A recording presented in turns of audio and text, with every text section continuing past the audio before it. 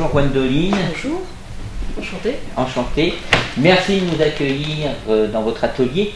Donc on vient à votre rencontre pour notre première émission sur les métiers d'art et métiers d'exception. Donc on voudrait connaître euh, cette profession qui est merveilleuse. C'est vrai. Alors vous avez démarré à quel âge? J'ai démarré à 15 ans, 15 ans et demi. Voilà. J'ai découvert mon métier euh, par hasard à la suite d'un stage en entreprise en troisième. En troisième. En troisième, oui. Donc vous avez fait un, un CFA. Euh, oui, il y a un CFA pour, euh, pour tous ceux qui n'ont pas de diplôme au départ. J'avais mon DEPC, hein, mais euh, euh, il y a un CFA qui est lié à l'apprentissage par le CAP. Donc êtes en alternance entre l'école professionnelle et le CFA pour obtenir votre CAP. Mais tout ça se situait à Nancy, à côté de Nancy. Le CFA est à Nancy et le- l'école professionnelle, donc le CERFAP, était à Vannes-le-Châtel, à 40 km. Donc ça a été un petit peu compliqué au niveau des études? C'était l'aventure L'aventure. C'était l'aventure. euh, quand vous avez à peine 16 ans et que vous êtes euh, très très loin de votre famille, et puis euh, surtout au départ j'étais une des premières filles. Donc on avait un lycée qui n'avait pas de, de dortoir en fait pour les filles. Donc j'étais hébergée à l'autre bout de la ville de Nancy et il n'y avait pas tout à fait la même logistique que maintenant avec cette école professionnelle qui maintenant a tout sur place. Euh, à l'époque, voilà, c'était à la fois et Nancy et Vannes. Donc ils ont arrivé à intégrer. euh, Voilà, ils ont tout mis, le CFA et le. le- voilà. Donc c'est beaucoup plus simple pour les élèves de maintenant. Il y a beaucoup plus de filles dans cette profession? Oui, alors c'est là pour le coup, euh, ça s'inverse. À l'époque, c'était un métier très masculin. Il y a une vingtaine d'années, on avait beaucoup beaucoup de garçons et euh, au fur et à mesure euh, du temps, on voit de plus en plus de filles euh, faire ce métier. Voilà, c'est étonnant, mais voilà. Mais alors, pour la partie euh, atelier, c'est un travail qui demande beaucoup de minutie, beaucoup de précision. euh, euh, mais il y a aussi cette partie chantier euh, qui n'est pas à exclure et qui fait que d'être une fille, c'est un petit peu plus compliqué.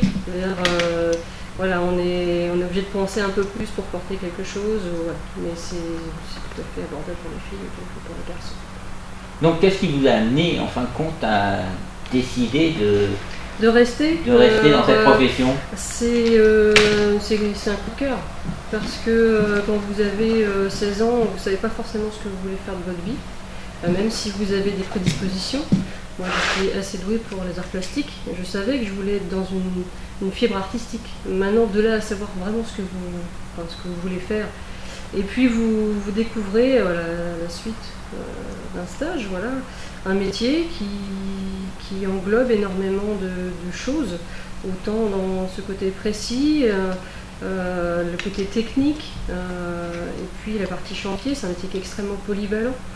Et même en une semaine, on voit déjà euh, les bases, les prémices du métier. Et moi, je suis tombée vraiment en amour pour ce métier-là. Et j'ai eu par chance euh, mon maître d'apprentissage, euh, qui était meilleur ouvrier de France aussi. Pas à l'époque quand j'y suis allée, mais euh, il est devenu meilleur ouvrier de France. Euh, il cherchait, il cherchait un, un- un apprenti, il cherchait un garçon au départ. Puis il s'est dit pourquoi pas, on va essayer avec une fille. Et puis ma foi, je suis jamais repartie. euh, pendant 8 ans, je suis restée chez lui quand même. La preuve, ça a fonctionné. Ça fonctionne. Parce que maintenant vous êtes devenu, vous aussi, Voilà, meilleur ouvrier de France. J'ai repris le flambeau, oui, c'est vrai. Alors lui, il est toujours en activité aussi, hein, mais, euh, mais effectivement, c'est un enseignement, je pense, global euh, quand vous avez euh, quelqu'un qui vous enseigne avec une, certaine rigueur. Je pense que ça, ça- c'est ancré en vous. Après, vous, allez chercher toujours à, à vous perfectionner, à vous améliorer. C'est également ce que j'essaie d'enseigner euh, à mes ouvriers et à mon apprenti. Donc là actuellement vous avez une employée, Voilà, c'est Ludivine. Ludivine, Voilà. qui a fait à peu près euh, le même cursus. euh, qui a fait un cursus un peu différent puisqu'elle elle, elle est issue euh, d'un métier. euh, euh, c'est une reconversion professionnelle. Voilà. Donc euh, c'est quelqu'un qui était laborantine au départ, qui a fait des jolies études euh, en DUT de chimie quand même, donc c'est c'est- c'est quelqu'un qui a un bagage. Mais c'est complètement différent. C'est complètement différent et en même temps elle avait une fibre artistique qu'elle avait- qu'elle qu'elle menait en parallèle. Et puis un jour, elle est venue euh, voilà, à mon atelier voir si elle pouvait euh, faire une reconversion euh, dans ce métier. je lui ai proposé de faire un stage de 10 jours.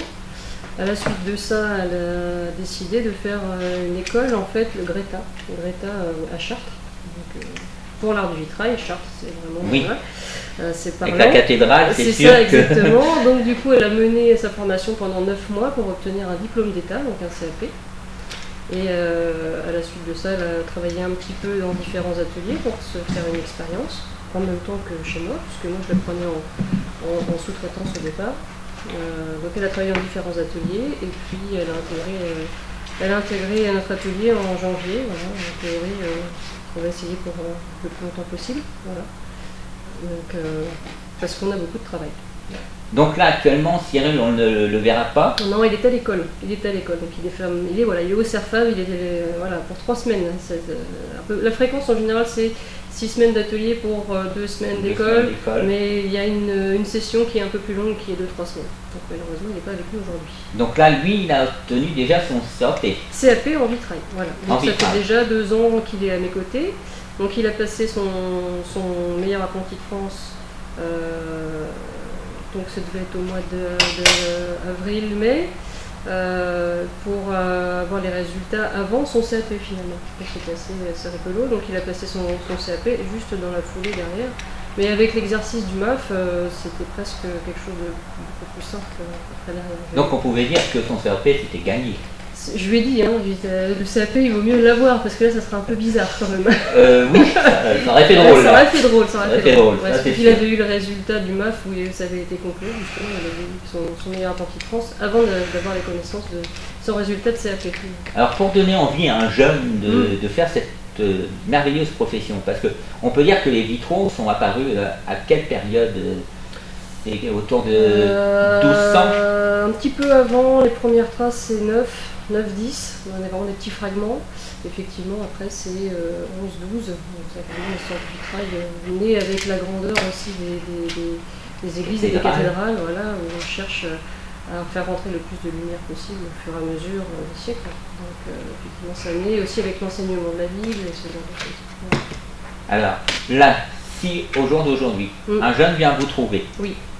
vous dit voilà, j'ai envie de faire ce que vous faites alors, ça dépend. il y a plusieurs filières. Il y a la filière de l'apprentissage, qui est pour moi la meilleure puisque on, travaille réellement. C'est-à-dire qu'en plus les fréquences sont intéressantes puisque six semaines en atelier, ça permet vraiment de mener à bien un travail de jusqu'à Z. Euh, donc la filière de l'apprentissage avec un CAP à la clé. Euh, ensuite, vous avez, euh, vous avez une école aussi qui est située à Paris qui s'appelle Lucas Néo, euh, vous pouvez passer aussi un, un CAP, mais là c'est plus la filière scolaire. Après, vous avez aussi une autre filière qui est euh, euh, Olivier de Serre. mais là, il faut avoir déjà On va chercher ce qu'on appelle un DMA, c'est un diplôme des métiers d'art. Donc, on va vraiment avoir un, niveau un petit peu supérieur. il faut avoir déjà un petit bagage derrière. donc, pour pouvoir obtenir ce, diplôme. Mais le, mieux, voilà, pour moi, le mieux, c'est vraiment l'apprentissage l'apprentissage et après évoluer, euh, aller jusqu'au bac professionnel. Oui, après vous avez le BMA, hein, donc euh, voilà, le brevet des métiers d'art que j'ai également. Euh, le brevet des métiers d'art qui, qui peut être juste à la suite du, CAP. Hein. c'est parce que là, Cyril, c'est vrai qu'il a, j'ai opté pour qu'il fasse un deuxième CAP en décor sur verre et ensuite il passera son BMA. Ah, ça va lui apporter un plus pour travailler Oui, parce que enfin, Disons que l'avantage de, ce CAP euh, décor, euh, ça va vous permettre euh, de vous enrichir au niveau de la gestuelle en peinture, et puis de tout ce qui est l'aspect du décor et du travail du verre à chaud et à froid pour la partie créative du vitrail. Et ça, ça vous amène, ça vous amène vraiment des compétences qui vont vous donner plus de possibilités.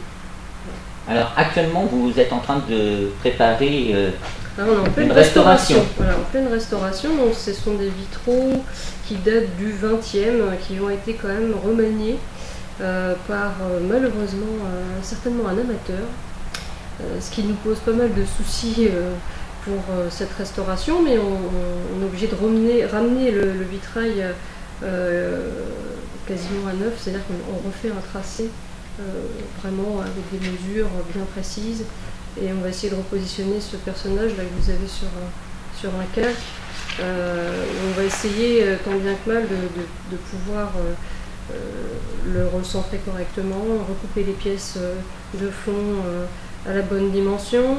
Et puis vous avez la partie basse en fait qui est manquante. Donc il va falloir qu'on recrée cette partie manquante. La partie qui La partie qui vient en bas, voilà. Donc le bas de la baie n'existe plus. Donc euh, il faut qu'on, pour ça, c'est pour ça que c'est important, il faut repartir sur de bonnes bases pour la partie haute, pour pouvoir avoir quelque chose de, soigné en bas. Tout en restant dans l'esprit de ce qui a été fait, pour que la partie neuve ne se voit, enfin, ne se voit pas. on va dire que la, restauration, c'est un travail de modestie. Euh, si ça ne se voit pas, c'est parfait. Vous êtes content. Le fait de ne pas voir, euh, de ne pas voir votre passage. Oui. Alors, euh, est-ce que ça vous arrive Parce qu'on m'a parlé que des fois, en démontant des vitraux, en les retravaillant, vous trouvez des messages Oui, ça, arrive, oui, ça peut arriver. Alors, on a des, des petites, euh, des petits, c'est très rare, c'est extrêmement rare, mais on peut avoir des, petits, des petites gravures ou des petites peintures avec euh, des petits mots. On a eu ça aussi pour, euh, pour alors là c'était plus sur, sur du papier, mais quand on a fait un des inventaires sur les vitraux de la cathédrale de Rouen, quand on a inventorié les vitraux qui avaient été bombardés, on a eu des messages papier en fait des, personnes qui ont été chargées de mettre en caisse rapidement ces fragments de vitraux qui avaient été soufflés par les bombardements, c'est assez émouvant d'avoir des traces d'histoire. Donc on j'essaye de temps en temps, euh, quand je peins, de laisser euh, aussi moi des petites choses pour, euh, pour ceux qui vont me succéder Alors, le verre, vous avez toujours des fabricants, vous arrivez toujours à trouver des couleurs? On arrive toujours à trouver des couleurs parce qu'on travaille en collaboration avec les verreries Saint-Just, donc qui ont été rachetés par les verreries Saint-Gobain, groupe Saint-Gobain. Euh, donc ce sont, des, ce sont des verres qui sont soufflés, hein, soufflés à la bouche. Donc on a 300 références de verres euh, standards qui sont soufflés à la bouche. Donc on a toute une déclinaison de couleurs qui nous permettent à la fois de restaurer, pour respecter les teintes d'origine, et de créer aussi également avec cette Alors le verre il est soufflé. Alors moi quand je vois un souffleur de verre c'est pour faire euh, soit un base et ils arrivent à faire une plaque. Oui oui c'est une technique très particulière euh, en manchon, c'est-à-dire qu'on va, on va souffler une masse de verre, on va la souffler pour qu'elle fasse un volume euh, rond et on va l'étirer comme un manchon et on va ouvrir les deux extrémités et ensuite ce tube de verre va être séparé en deux, cassé par choc thermique et euh, justement, après, dans un four de réchauffe, on vient étaler tout doucement cette. Euh, donc, ce qui, crée à la fois des dégradés, puisque vous avez des, imperfections, des bulles, euh, vous avez aussi des, feuilles de verre qui sont irrégulières dans l'épaisseur, et c'est tout ce qui va donner le charme du verre soufflé, puisque vous allez pouvoir exploiter ces, ces, fluctuations dans le verre. Qui, donc ça fluctue entre 2 mm et 4 mm hein, dans une même feuille mais ça va vous donner des dégradés. Dans un rouge, par exemple, vous aurez du, rouge, du rouge très clair à, du rouge très foncé. Je pourrais vous montrer tout à l'heure, j'ai des très belles feuilles. On va se rendre un peu plus tard pour voir ça. Pour voir ça. Donc là, on voit euh, Ludivine travailler. Oui. On va se déplacer, on l'a rencontrée. Alors, bonjour Ludivine. Bonjour. Alors là, vous êtes en train de découper. Euh, je fais du découpage. Du découpage. en fait, je travaille sur trois autres baies de la même église, donc euh, de la restauration qui est juste en face là-bas. Et ces trois baies qui vont être euh, presque totalement créées. Donc il nous reste des fragments qu'on va réutiliser justement pour garder le maximum de ce qui était original au niveau de l'église. Mais on a toute une baie à recréer. Donc je suis en train de découper les pièces pour euh, ensuite pouvoir se servir des calibres de papier, les, les transformer euh, pour, le verre. Donc ça va être utilisé pour faire les découpes Tout à fait, c'est ça. On va suivre le carton et on aura du coup nos pièces de verre qu'on va pouvoir replacer euh, en plateau et par la suite remonter avec le pot. Ah, c'est un sacré travail. c'est un travail de, patience. C'est ça. On fait de la dentelle en fait. Vous voyez, tout ce qu'on voit là qui reste en morceaux de papier, c'est matérialisé, c'est le plomb en fait, le, milieu du plomb, lame de plomb. Donc toutes ces, parties-là, ça va être les lames de plomb. C'est ça, c'est ça. Ah Donc, le- là où il y a les trous, le verre se, sera en place. En place. Et du coup, les plombs vont passer, vous voyez là, tout ce qui reste en dentelle.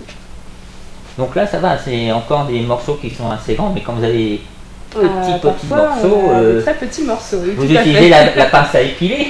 Non, non, on Non se débrouille, on y arrive. non, non, ça, ça y va bien. C'est de la patience, tout simplement. Alors, pour euh, un travail comme ça, vous allez mettre combien de temps? Hum, Vitrail terminé, prêt à Ah, c'est poser. difficile à évaluer quand même là, parce qu'on a trois baies en même temps. Là, euh, S'il y avait juste euh, cette partie-là, on serait à euh, allez, euh, une petite semaine. Ah, ce que je pensais. c'est quand même assez rapide. Là, parce que c'est de la vitrerie simple. Voilà. Voilà, vous n'avez pas de vitraux qui sont euh, avec des personnages, avec du figuratif. C'est de la vitrerie. Alors, le figuratif, euh, c'est vous, en fin de compte, qui peignez euh, le visage Oui. euh, d'une vierge euh, Si c'est une- Saint-Joseph. oui. Si c'est une création euh, que l'on fait, oui. Si c'est une restauration où on va amener à, à créer des pièces pour la restauration, oui aussi, également. Oui. Je vous montrerai d'ailleurs, j'ai des, des vitraux, euh, des vitraux 19e là, qui sont en table lumineuse où on- voilà, il y avait des manques et on a été obligé de refaire des pièces, des copies, des copies de pièces. Et des fois, on n'a même plus de traces de ce qu'il y avait avant. Alors, euh, sur ces motifs-là, c'est aussi peint à la main. C'est ça, exactement. Là, vous avez un, ornement en fait qui est peint. Donc là, il y a ce qu'on appelle un jaune à l'argent. Donc c'est, ce sont des sels d'argent qui laissent une empreinte de jaune plus ou moins forte en fonction de la, quantité en fait de sel d'argent contenu dans le mélange. Donc c'est un mélange avec euh, une base d'argile euh, qui va laisser ces fameuses empreintes. Donc ça, c'est le côté orange que vous avez là. Vous avez ce qu'on appelle la grisaille. Alors la grisaille, c'est des oxydes métalliques à base de plomb qui vont être euh, également vitrifiés euh, aux alentours des 650-680 degrés euh, par cuisson, hein, avec le four qui est là-bas. Donc effectivement, et là vous avez aussi hein, ce qu'on appelle une, une espèce de, de mousseline. donc c'est un petit jus qui va rendre un peu opaque. opaque. Voilà, un peu opaque. Voilà. Donc ça c'est pareil, c'est une base de grisaille, en fait ce qu'on appelle différents types de grisaille. Mais qui rend opaque euh, C'est ça, le voilà. verre. Ça dépend ce que vous souhaitez faire. Donc là, on a trois techniques différentes. Donc les sels d'argent, donc ils sont posés à l'envers, on voit bien l'empreinte hein, de sel d'argent. Et puis la grisaille pour donner les traits, et la mousseline pour faire ressortir le motif. Donc ça, on va refaire. On va, alors, tout ce Tout qui à est- l'identique. tout à l'identique. Tout ce qui est ancien, on conserve. Celle-ci est trop endommagée, on va être obligé de la refaire. Mais tout ce qui peut être conservé est conservé. Voilà. Et après, on va, nous, euh, dupliquer euh, euh, les pièces manquantes. Donc toute la partie basse notamment. Compléter euh, cette partie euh, haute, puisqu'elle a été un peu malmenée. Voilà. Donc, euh, au niveau création, parce Oui. que vous faites aussi du Oui, moderne. oui, tout à fait. oui, oui. Donc, euh, je viens de vous trouver, je vous demande euh, un travail bien particulier, Oui. vous êtes capable de me le réaliser. Complètement, oui, complètement. C'est-à-dire qu'on a, on a des demandes diverses et variées. Alors ça peut aller euh, de la simple porte d'entrée euh, jusqu'à la porte de salle de bain. euh, ça peut être un plafond, ça peut être des lampes, ça peut être beaucoup de choses. Euh, le vitrail s'adapte vraiment partout finalement. Il vit très très bien avec son époque. C'est juste une question de communication, donc c'est parfait que vous soyez là. c'est une question de communication parce que le vitrail, l'image du vitrail et ce côté religieux sont très ancrés en fait. On associe forcément le vitrail à l'art religieux, mais on peut faire des compositions tout à fait modernes qui vont parfaitement s'intégrer dans les maisons contemporaines. Alors, quand on touche par exemple euh, un, un vitrail d'église, Oui. vous êtes obligé euh, De respecter, on a des protocoles, voilà, puisque nous on, a- Voilà, travaille avec, euh, on- avec les monuments historiques, hein, donc euh, on a cette, euh, ce- cet agrément-là. Euh, donc on peut euh, travailler sur tous les bâtiments classés ou non. Vous avez même des bâtiments qui sont juste euh, enfin, répertoriés, mais pas, Répertoriés. voilà, mais pas classés. Euh, et puis des fois pas du tout, mais c'est quand même un très beau patrimoine. Ça reste un patrimoine local, euh, voire même régional, qui est tout autant à respecter que quelque chose qui est classé. Donc là, effectivement, on va être dans ce travail de, de- de- de modestie. Voilà, on va essayer de, de- de- de garder ce, ce protocole, de ne pas faire n'importe quoi, c'est très important, euh, pour que tout ce que l'on fait euh, soit réversible pour nos- ceux qui vont euh, suivre derrière nous, puisque on, on est finalement, on ne fait que passer dans l'histoire de ce vitrail. oui, parce que dans combien d'années euh, C'est tous les, allez, on va dire entre 80 et 140 ans selon l'exposition. Euh, le plomb est vieilli, en fait, ça sèche, perd ses propriétés mécaniques et du coup devient cassant. Donc il ne maintient plus les pièces de verre en place. Donc dans cette fréquence-là, tous les 100, allez, on va dire 100, 100 140 ans, on vient euh, changer la trame de plomb avec les conséquences euh, diverses et variées, intempéries, vandalisme, voilà, qu'on subir le, le, vitraux. Donc euh, nous, on doit vraiment rester humble par rapport à ça et ne pas s'imposer en tant que, créateur. On n'est pas du tout créateur dans cette, dans cette partie restauration. On est, juste là pour peut-être améliorer les choses. Vous voyez, là, ça a été ça a été mal restauré ou ça a été mal remanié à un moment donné dans, dans ce vitrail, on va essayer de leur, lui apporter nos connaissances pour euh, l'embellir. Voilà, tout simplement. Mais sans modifier euh, quoi que ce soit ni interpréter les choses. C'est vraiment euh, cette démarche-là qui fait que on reste respecter l'œuvre qu'on a, dans les mains. Alors, au niveau travail, oui. ça a un coût. C'est immense. Euh, niveau prix, euh, les horaires de travail. Euh, si on avait vraiment raconté en heures, alors reporter ça en, taux horaire, c'est pas possible. de toute façon, n'importe quel type d'artisan d'art tiendra le même discours. La plupart du temps, on ne regarde pas sa montre. Surtout quand on est amoureux de son métier, on essaie de chiffrer. C'est vrai, on essaie de, chiffrer. Chaque vitrail est unique. Donc forcément, chaque église a son patrimoine et à chaque fois, sauf pour des vitreries ou des choses répétitives, des motifs géométriques. Mais tout ce qui est figuratif, forcément, euh, l'approche est différente. Ça dépend euh, voilà, euh, ce qu'ils ont subi, l'ouvrage du temps. Donc du coup, c'est vrai qu'en termes de chiffrage, c'est pas forcément non plus délirant, puisque on est parfois et même très souvent moins cher que la taille de pierre, par exemple. Très souvent même. Mais pourtant, on passe autant de, de temps. Mais euh, je pense que quand euh, vous faites un chiffrage, vous savez que vous en avez peut-être pour un petit peu plus de temps, mais euh, vous prenez aussi du plaisir à, Vous avez envie des fois de travailler sur certaines choses que vous voyez. Certaines pièces. Voilà. Donc, et puis il y a de la concurrence aussi, il ne faut pas se leurrer, donc il faut, il faut être dans les prix du marché. qui malheureusement des fois sont de plus en plus bas, donc il faut faire attention à non plus ne pas trop baisser ses prix parce qu'il faut qu'on vive, c'est un savoir-faire. Oui. C'est un savoir-faire, il y a la qualité qui va, enfin on essaie d'avoir la qualité qui va derrière. Je dis ça parce qu'on c'est. Puis en tant que meilleur ouvrier de France. Alors nos tarifs n'ont pas changé. Non, vous pas non, non, non, non, justement. Alors, de, de, devenir meilleur ouvrier de France, ça, pour vous, ça a apporté quoi de plus? Euh, bah, disons notoriété. Que, notoriété, effectivement, on a un petit peu plus de, voilà, de, personnes qui viennent nous rencontrer. Euh, c'est aussi une vitrine, euh, une vitrine du savoir-faire français, qui pour moi a beaucoup de valeur, parce que ce sont des choses qui, ont entre guillemets tendance à se perdre. Il y a des savoir-faire qui sont un peu, c'est un peu compliqué, donc c'est vrai que c'est bien de pouvoir représenter ce savoir-faire être fier d'être artisan. Euh, et puis ça, rassure aussi euh, le, client. Bien que, voilà, comme je vous expliquais tout à l'heure, c'est une démarche qui déjà ancrée dans l'atelier depuis, très longtemps. C'est le titre de mes France, déjà vous allez chercher parce que c'est une quête personnelle. Et puis euh, ensuite, le fait de, vouloir, vouloir avoir ce prix-là, euh, ça permet voilà, de montrer que vous avez une qualité derrière de, travail, de prestations. Mais les prix, les prix euh, de l'atelier n'ont pas, pas bougé, même si. Euh, Donc l'atelier a été créé en quelle année? Alors moi j'ai créé l'entreprise en 2007. 2007 sous le statut d'artiste au départ, puisque je commencer modestement. surtout dans ce type de métier-là, il faut savoir, encore une fois, rester humble. Voilà démarrer tout petit et avec très peu de charge pour éviter justement, si on tombe de l'échelle, on tombe de moins haut. Voilà.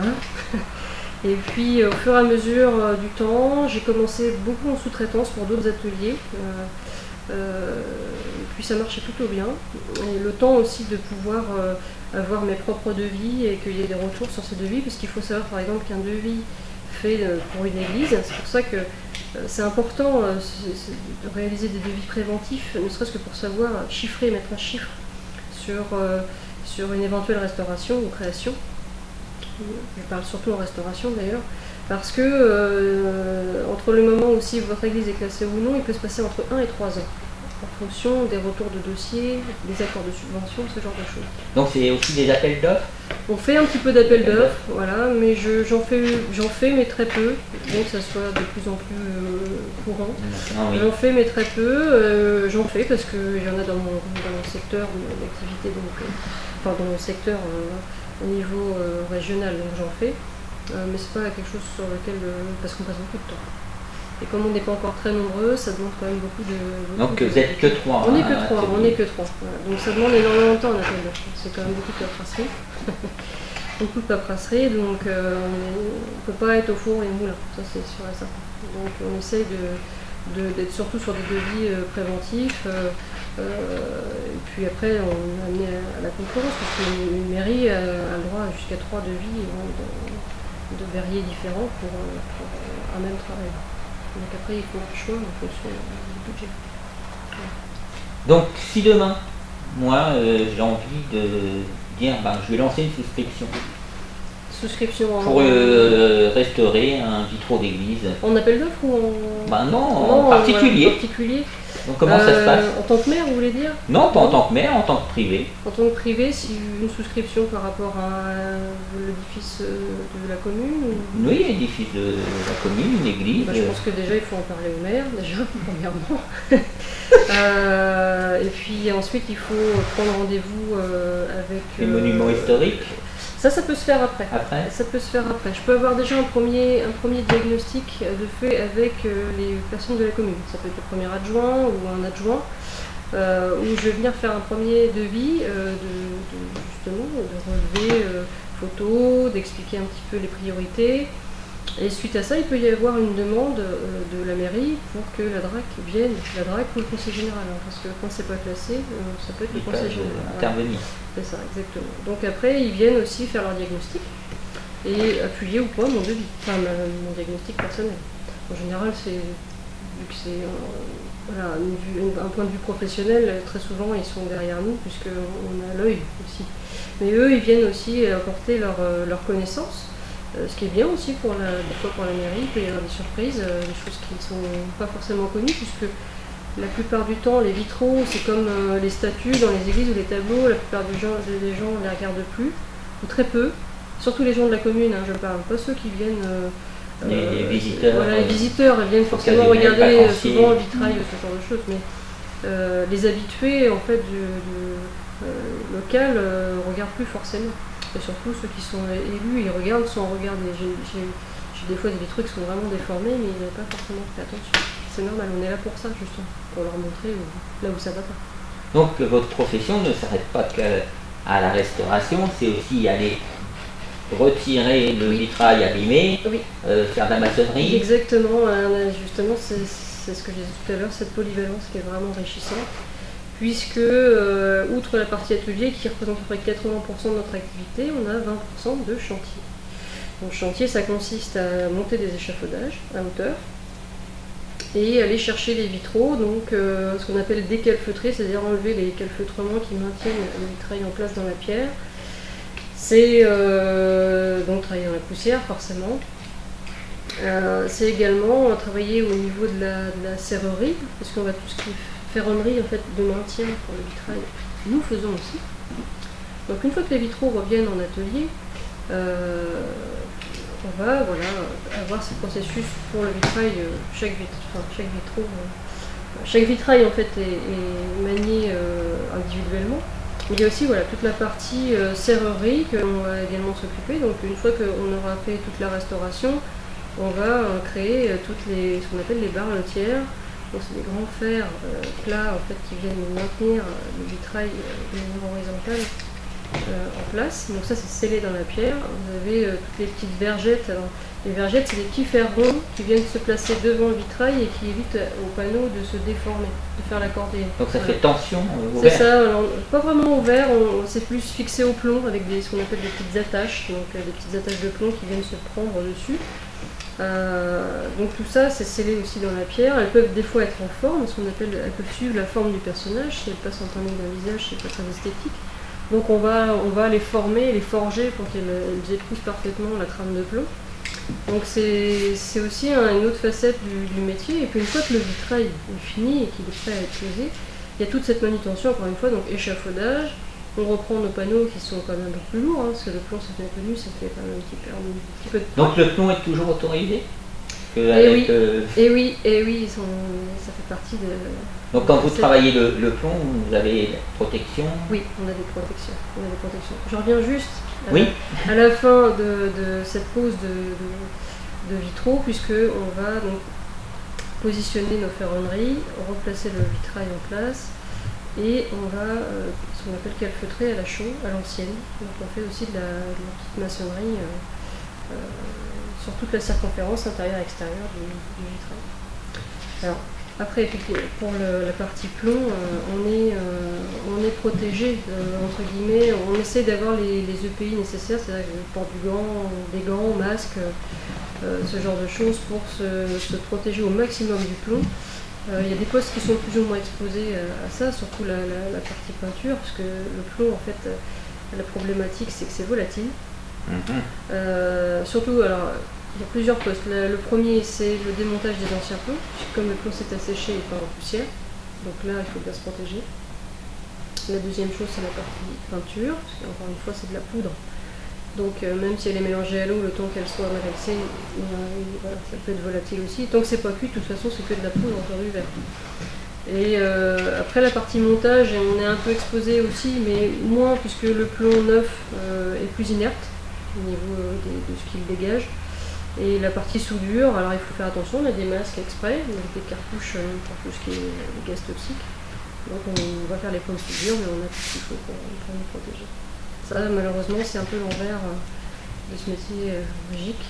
Un petit, retour euh, de, bâton qui est pas forcément bien pour tous, parce que j'ai des élèves apprentis. Si la première année, ils ont un taux de plomb qui monte trop vite, ça veut dire que leur corps n'élimine pas suffisamment, de manière naturelle, le plomb. Il y a des personnes qui le stockent. Et, euh, à Mhm. savoir, ça, ça vraiment, ça varie d'une personne à l'autre. Même si on fait attention, même si on est très précautionneux sur, euh, sur, toute ce- sur toute cette manipulation, ça arrive, malheureusement. Et là, on est obligé de, de- de dire à l'élève euh, que. D'arrêter. Bah, bah oui, on peut pas faire trop autrement. Après, c'est sa santé. Donc, euh, Oui, oui. Et malheureusement, même s'il aime ce métier-là, il y a il y a des contraintes. Gwendoline, euh, donc là c'est une feuille de, Oui. de verre. De feuilles de verre rouge, voilà. Donc, on- comme je vous expliquais tout à l'heure, donc les, les côtés euh, irréguliers des feuilles soufflées vous montrent bien euh, ce, ce dégradé naturel dans la feuille. Donc on va du plus clair au plus foncé. Ça, hein. On- voit très bien euh, sur cet Et- ensemble-là que c'est plus foncé. Exactement. Et donc, euh, quand on a une restauration ou même une création, si vous voulez créer un drapé, vous pouvez jouer avec cette coloration naturelle pour accentuer le contraste, les jeux d'ombre naturels. Donc, euh, essayez d'exploiter une partie de, de cette ombre pour euh, pouvoir euh, jouer sur, euh, sur les grisailles après derrière, mais au moins vous avez déjà la teinte qui a, euh, qui a cet effet-là. Ça accentue le côté ré- de réalisme. Voilà. D'ailleurs, je pourrais vous montrer parce que c'est un rouge que j'ai utilisé pour euh, une des restaurations. euh, Que nous allons voir tout à l'heure euh, exactement, en tape lumineuse.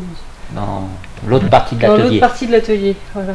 On se retrouve dans une autre partie de l'atelier, voilà, donc la salle peinture. la salle peinture. Donc là on voit un super euh, Vitrail. vitrail ouais, du- qui est démonté. Voilà, il est démonté. hein, Donc c'est un vitrail du 19e, Duhamel et Marette. Donc c'était deux, deux peintres héroïciens euh, qui ont beaucoup œuvré en Normandie euh, et sur lequel on va, on est en train d'intervenir. Alors là, ce qu'il faut savoir, c'est qu'on a, on a cet oculus en fait est situé à peu près à 8-10 mètres de haut, donc on le voit pas beaucoup. Pourtant, c'est une des plus belles pièces de cette église, donc c'est toujours sur la même église. et elle était assez endommagée, puisqu'elle était en partie haute comme ça, il y a très longtemps qu'il a, été, qu'il a été restauré. Donc il est dans son jus, comme on dit. Donc il y avait des parties manquantes, des parties manquantes notamment au niveau de ce fameux drapé. Euh, la tête aussi été euh, absente, euh, il y avait une partie de l'aile également, et puis une partie basse aussi qui était très endommagée. Donc là on est, on a été, on a fait un peu de ce qu'on appelle de la copie, copie de pièces. donc on est parti, on est parti en fait de d'une photo qu'on a fait du vitrail avant démontage et puis j'ai fait un petit croquis euh, pour avoir des traits euh, de construction du dessin pour retrouver un peu la lecture euh, du dessin.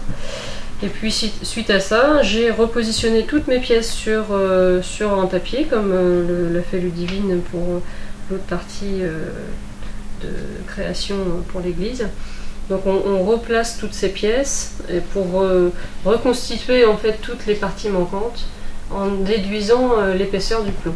Donc c'est assez important d'être assez précis pour qu'il n'y ait pas de décalage en fait au niveau de la peinture.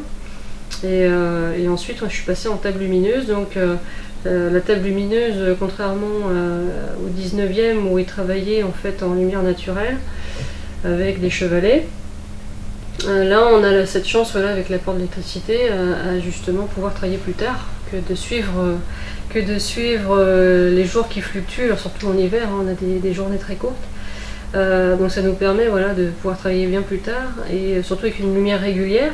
Alors le désavantage, on va dire que la lumière artificielle transforme un petit peu les teintes de verre parce que vous avez des fois des teintes qui vous semblent justes et au finish en lumière naturelle elles n'ont rien à voir.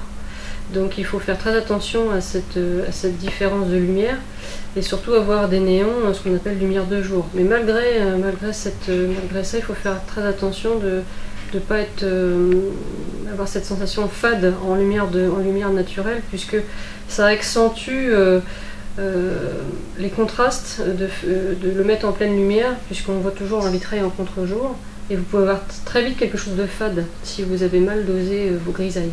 Alors les grisailles, comme je l'expliquais tout à l'heure, ce sont des oxydes métalliques, donc c'est de la petite poudre, vous voyez, euh, qui, est qui va être mélangée alors soit à de l'eau ou à du vinaigre. Alors pour euh, tout simplement pour avoir une meilleure accroche sur le verre, si vous mettez que de l'eau, vous allez pouvoir enlever, enlever la grisaille facilement. Si vous mettez du vinaigre, ça va accrocher un petit peu plus, euh, un petit peu plus le verre. Donc il y a le vinaigre, on peut mettre du lait aussi ou de la gomme arabique. Euh, si, euh, ce qu'il faut savoir, c'est que les, pièces de verre, quand on les peint, donc on a une base, par exemple pour se draper, on a une base de verre rouge, comme vous l'avez vu tout à l'heure, et on va amener les jeux d'ombre et de lumière. Et on va travailler à l'envers. C'est-à-dire qu'on va partir de quelque chose de foncé et on va enlever la matière pour laisser passer la lumière. Donc on travaille un peu en négatif. Donc c'est toute la difficulté de la peinture sur verre. La deuxième chose, c'est que vous ne sentez pas forcément le support sur lequel vous peignez. Surtout quand on peint au pinceau, parce qu'on a des pinceaux un peu au poil de Bartre, un petit peu différents, puisqu'on a des pinceaux, à poil long, qui vont euh, permettre en fait à la grisaille, qui est une peinture très lourde, puisqu'elle est à base de, plomb notamment, d'oxyde métallique, de pouvoir se charger, charger en base de pinceau et descendre progressivement euh, à la pointe du pinceau. Mais on ne sent pas forcément le support. Donc c'est quelque chose, on a un repose-main pour éviter de poser la main directement sur les, sur les pièces de verre. Et on vient, et on vient peindre par-dessus et enlever la matière si nécessaire pour, pour justement créer ces jeux d'ombre. Donc là notamment c'est euh, respecter en fait le style hein, du peintre, encore une fois, de respecter l'œuvre originale et pas, euh, pas forcément y mettre son côté euh, créatif. Donc on vient enlever voilà, la grisaille avec différents types de pinceaux euh, qui donnent différents effets. Donc notamment le, pinceau le plus connu pour le verrier, c'est ce qu'on appelle un blaireau, parce que c'est tout simplement des poils de blaireau qui vont nous permettre de pouvoir créer ce blaireauté en fait c'est donner euh, quelque chose d'homogène en fait sur la pièce au niveau de la grisaille. On va homogénéiser la grisaille sur la surface complète. Après on peut donner des petits effets en tapotant, donc il y a différentes techniques de peinture euh, qui est propre à chaque peintre. Après, il y a des techniques de base, mais je pense que chacun a sa petite, petite sauce personnelle qui se fait avec le temps avec l'expérience. On, apprend, on apprend aussi en restaurant, on apprend, on voit, on voit les techniques qui étaient faites à cette époque-là, qui vous semblent très compliquées vues de loin et finalement vues de près, vous dites c'est d'une simplicité et c'est très efficace. Donc on apprend énormément en restaurant, donc euh, ça nous fait progresser euh, à chaque fois. En permanence En permanence. Vous apprenez tout le temps, et chaque, comme je vous disais, comme chaque vitrail est unique, à chaque fois vous apprenez. Vous partez pas à zéro, mais vous apprenez, vous vous enrichissez au fur et à mesure euh, de, restaurer, et ça vous permet aussi après en création, quand on vous demande de créer des personnages, vous, avez, vous êtes plus à l'aise. C'est logique. C'est logique. Voilà. Donc là, c'est euh, le, fameux, le fameux blaireau et puis la grisaille. Voilà, donc on a, on a cette, euh, cette peinture qui va être mélangée. Qui va être mélangée à de l'eau ou à du vinaigre sur une petite palette.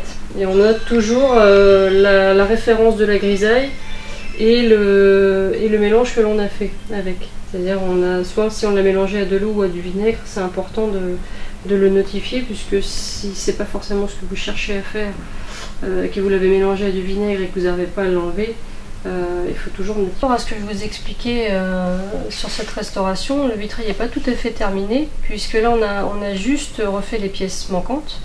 Et je vais m'atteler à faire ce qu'on appelle de la reprise peinture. Donc pour toutes les parties de peinture qui se sont trouvées être abîmées, donc c'est très commun à ce type de vitraux 19e, surtout euh, du Hamel et Marette. Euh, c'est un peu une maladie, hein, euh, puisque les, les, peintures étaient tout simplement mal vitrifiées.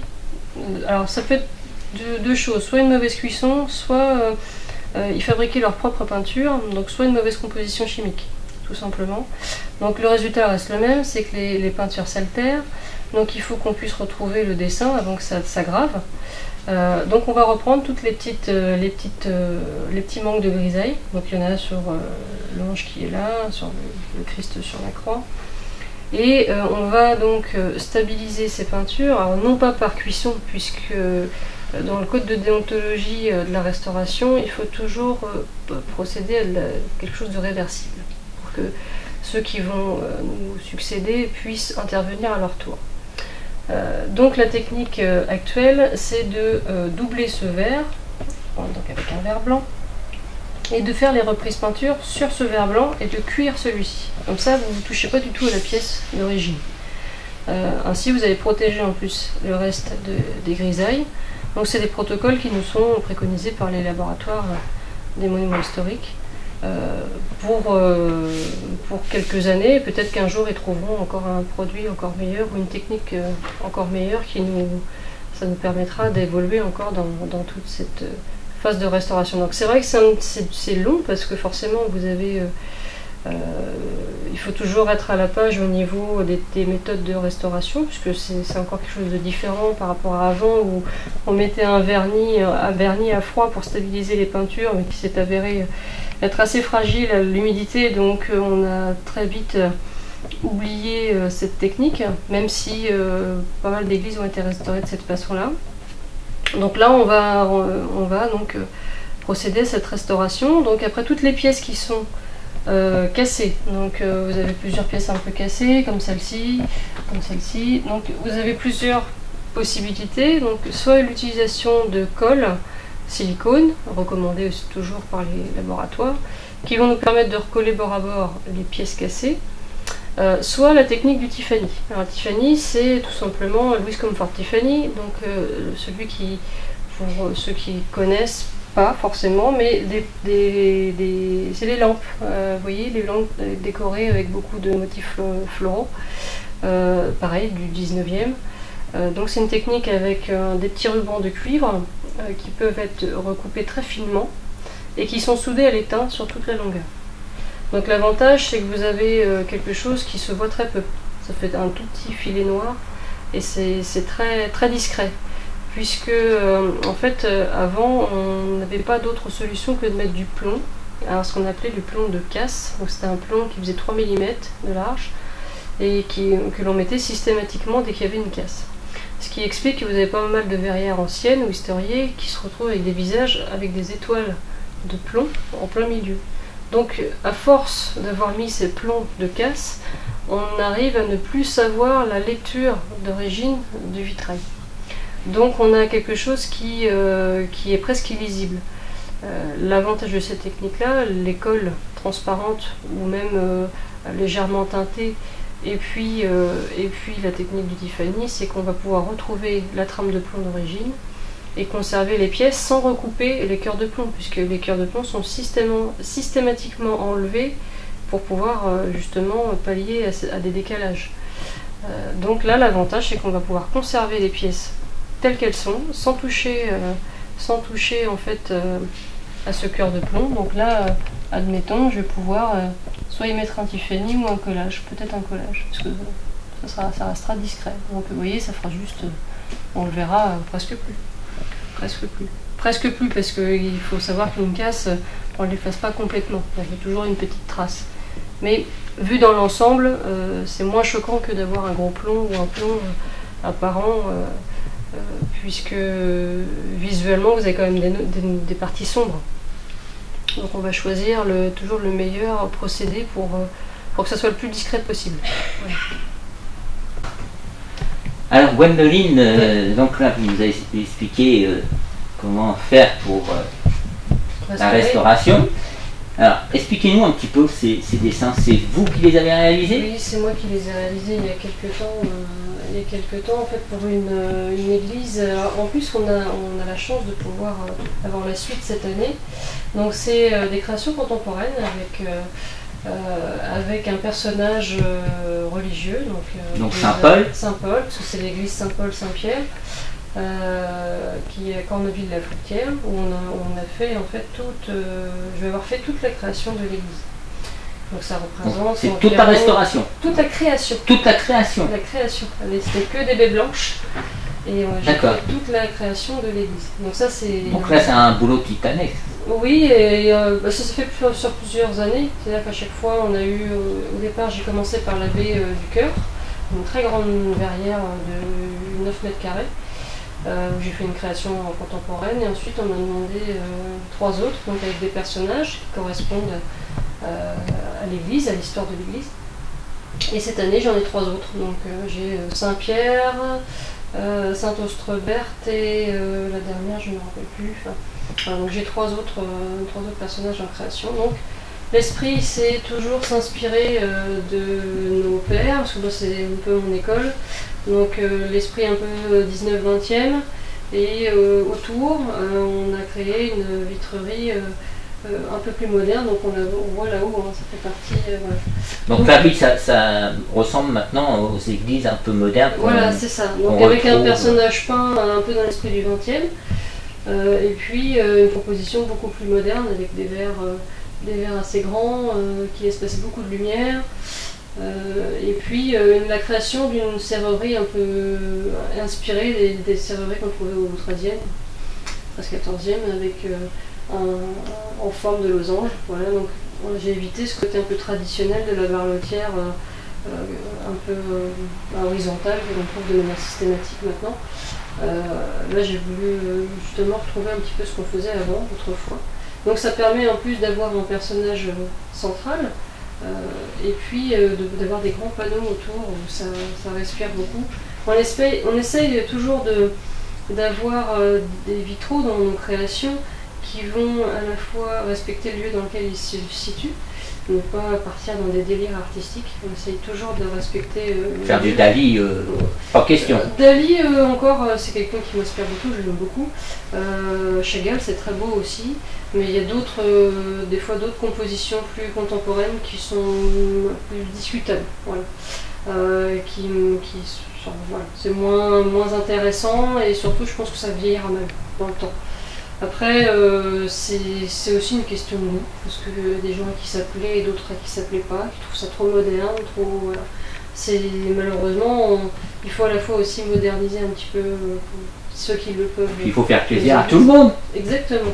Donc on essaye voilà, d'avoir, d'apporter euh, notre savoir-faire, justement de s'inspirer de, toutes ces époques, puisque là vous avez au finish l'esprit un peu 20e, avec une serrurerie un petit peu 13e dans l'esprit, et puis euh, ce côté 21e euh, pour les extérieurs, donc ça, ça donne un beau mélange, enfin, un mélange Un mélange intéressant. intéressant. Intéressant. Voilà. Donc là, on a, on a la suite euh, pour cet été. Voilà.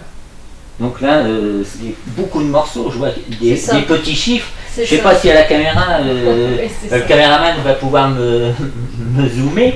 On voit des petits chiffres, là je suis sur le 25, euh, au-dessus c'est numéro 42. Donc on a, en fait, j'ai voulu mettre ça en salle peinture pour expliquer un peu les- le processus euh, de calibrage, donc ce que se faisait Ludivine tout à l'heure. Mais quand on est en création, c'est euh, un petit peu plus complexe puisque on va tout découper, puisque tout est neuf. Donc on va, pour tout découper et ne pas se perdre dans les gabarits de papier, il faut tout numéroter. Et tout euh, aussi, euh, votre dessin, il faut qu'il soit retranscrit en, en calque pour Oui. se retrouver voilà, dans la... Mais parce qu'après ça fait pulse. C'est c'est exactement ça, c'est exactement ça. Souvent le vitrail est comparé, est comparé au puzzle. Donc sur, cette, euh, sur ce- ces papiers, donc euh, c'est numéroté. Vous avez aussi un petit point de couleur qui va vous permettre de vous retrouver. Donc là voilà, c'est ça. rouge. Exactement. Qui va vous permettre de vous retrouver euh, dans, dans les choix des verres qui ont été définis. Donc au ici on a du vert, Du vert, voilà, c'est ça. Voilà. là aussi du vert. Voilà. Là c'est du jaune. voilà, c'est ça. Donc en fait, ça va vous permettre de, de vous guider en fait au fur et à mesure, puisque vous avez plein de petits bouts de papier, euh, savoir où ça se repositionne, dans quelle couleur. Donc c'est que des guides. Et puis le dessin, bah, lui, vous allez vous en servir pour pouvoir travailler sur table lumineuse. Donc euh, au moins pour les traits de base. Après, vos jeux d'ombre et tout ça, vous pouvez le faire directement sur la table lumineuse. Mais pour le dessin de base, vous avez pour le trait, vous avez le, guide sur le dessin euh, qui a été fait sur le carton. Ça vous donne euh, déjà le, le- départ. Voilà. Donc c'est pour ça que j'avais recollé minutieusement tous les petits bouts et le fait d'avoir des petites séparations là, c'est tout simplement parce que vous avez ce qu'on appelle le cœur de plomb. Alors, je vais vous expliquer tout à l'heure. Donc euh, c'est tout ce qui est euh, en en blanc. Exactement. Donc tout ça c'est le, le C'est plomb. le plomb. C'est l'espace en fait que prend le plomb entre, entre, le, Entre chaque verre. Exactement.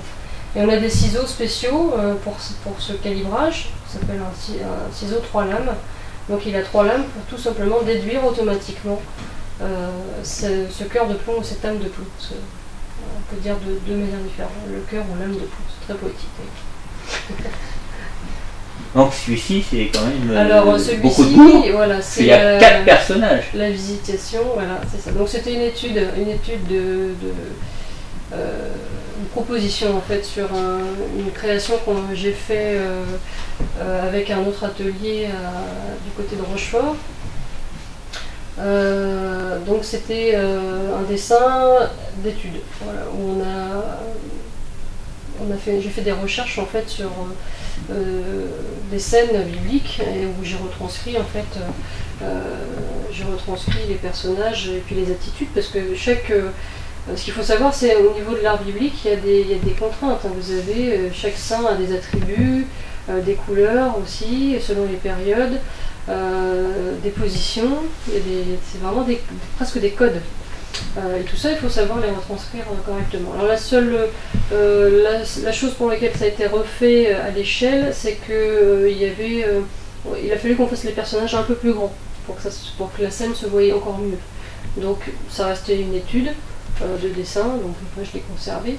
Mais du coup, ça nous a permis euh, de voir un petit peu le positionnement, le positionnement des personnages et puis après d'amener encore d'autres détails euh, au dessin définitif. Donc il faut vraiment savoir bien dessiner.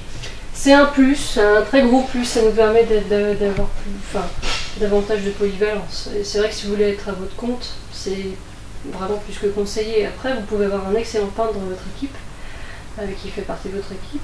Euh, vous pouvez euh, réaliser ce métier même si vous n'avez pas forcément des grandes connaissances en dessin. Euh, si vous êtes bon en technique, dans la partie technique, vous pouvez être un excellent monteur en plomb ou un excellent coupeur de verre. Ça n'enlève rien. On n'a pas encore parlé de la, de la découpe de verre. Non, on va, on va, On, on va parler plus tard ça. parce Ouais, que c'est quand même assez impressionnant. C'est voilà, assez Alors est-ce qu'il y a beaucoup de blessures? de petite. Après, quand vous vous blessez, vous vous blessez. Voilà, ouais, vraiment. on va- Mais la plupart du temps, on, vous voyez, Vous êtes on a, équipé de gants voilà, on a des gants anti-coupure donc qui sont faits. euh, et euh, si on Moi manipule, j'aurais dû moi euh, y penser? y penser avant Euh. d'utiliser moi une mandoline. Ah, ah oui, oui, ça, Oui. ouais, ça En faisant la cuisine, bah oui. C'est les accidents si qui on commence arrivent. à mettre des gants en cuisine, on, on peut avoir des petits soucis quand même. Oui. Mais euh, après, on peut avoir des manchettes quand on manipule des, des surfaces de verre plus importantes. Euh, mais c'est vrai que le- le- la coupe du verre, c'est assez, euh, assez, euh, assez étonnant. Vous avez, C'est euh, technique. c'est assez technique. ouais, assez technique. Donc c'est toujours un diamant?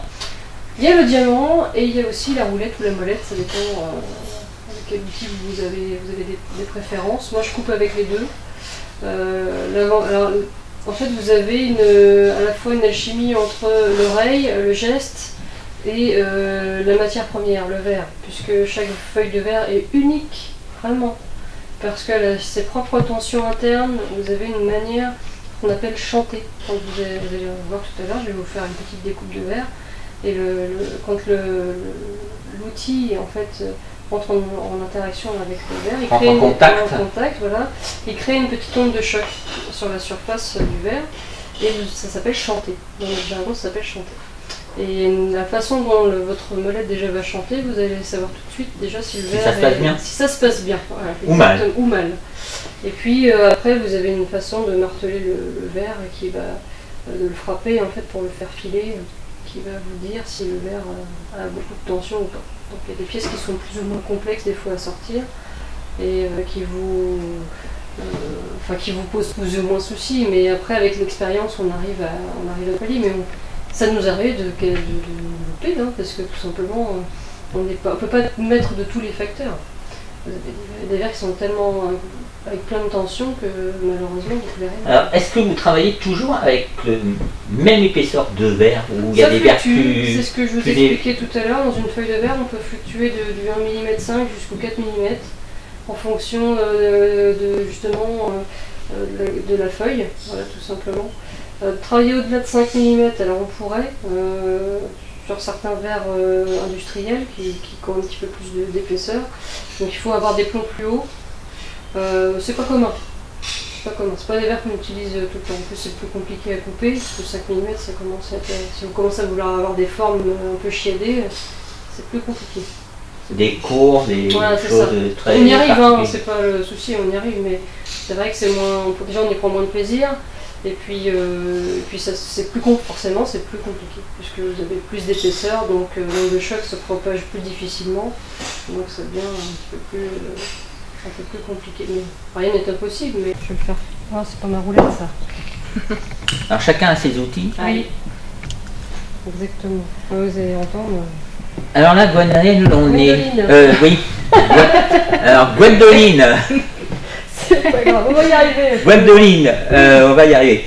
Euh, là, on est au poste de travail, Voilà, de travail. de découpe. de coupe de verre, voilà. Donc, euh, on va assister à une Voilà. découpe, donc avec un diamant. Là, c'est une roulette. C'est une roulette. Voilà, c'est une roulette avec une petite molette en tungstène, donc qui va, vous allez entendre, qui va faire chanter euh, le verre. Donc là, j'ai pas de gabarit, je voulais juste vous montrer euh, que Ah oui, on entend euh, vraiment Alors, au contact Là, du je verre. pourrais le couper, le casser directement, euh, mais je vais vous montrer ce que ça fait quand ça file. Alors, vous voyez, on a ce qu'on appelle une petite marteline, et on va faire filer le verre. Je sais pas si la caméra voit bien.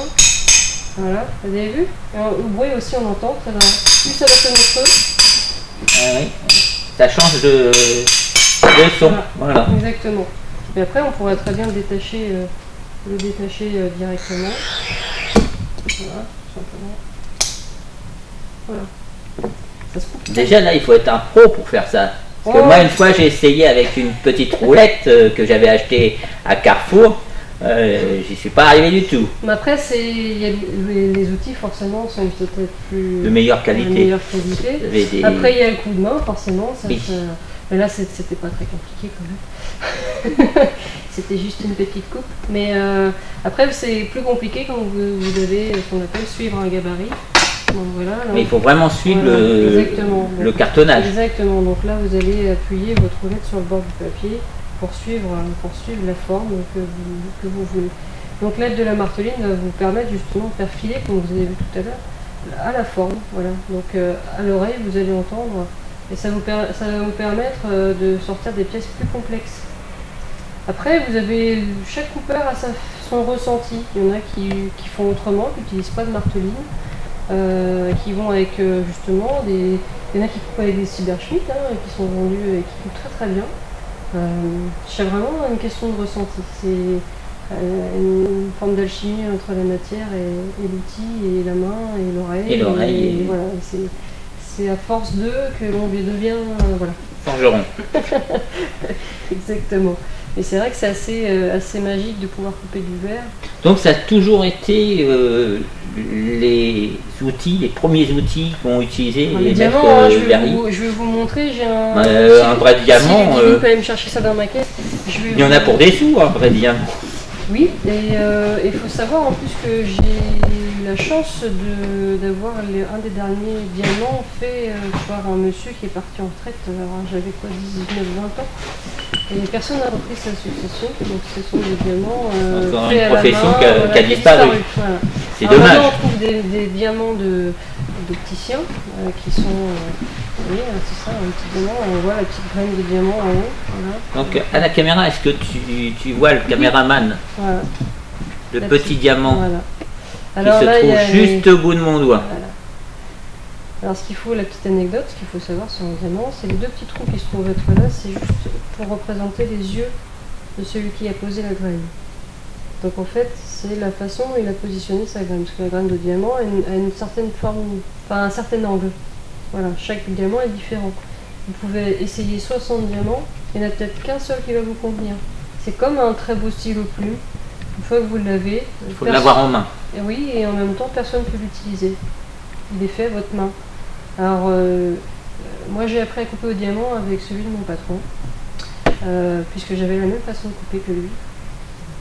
Un paradoxe, mais voilà, c'est assez, assez rare. Ce qui fait que quand j'ai cherché mon diamant, j'ai eu beaucoup de mal. Parce que euh, il faut trouver exactement la même façon de faire.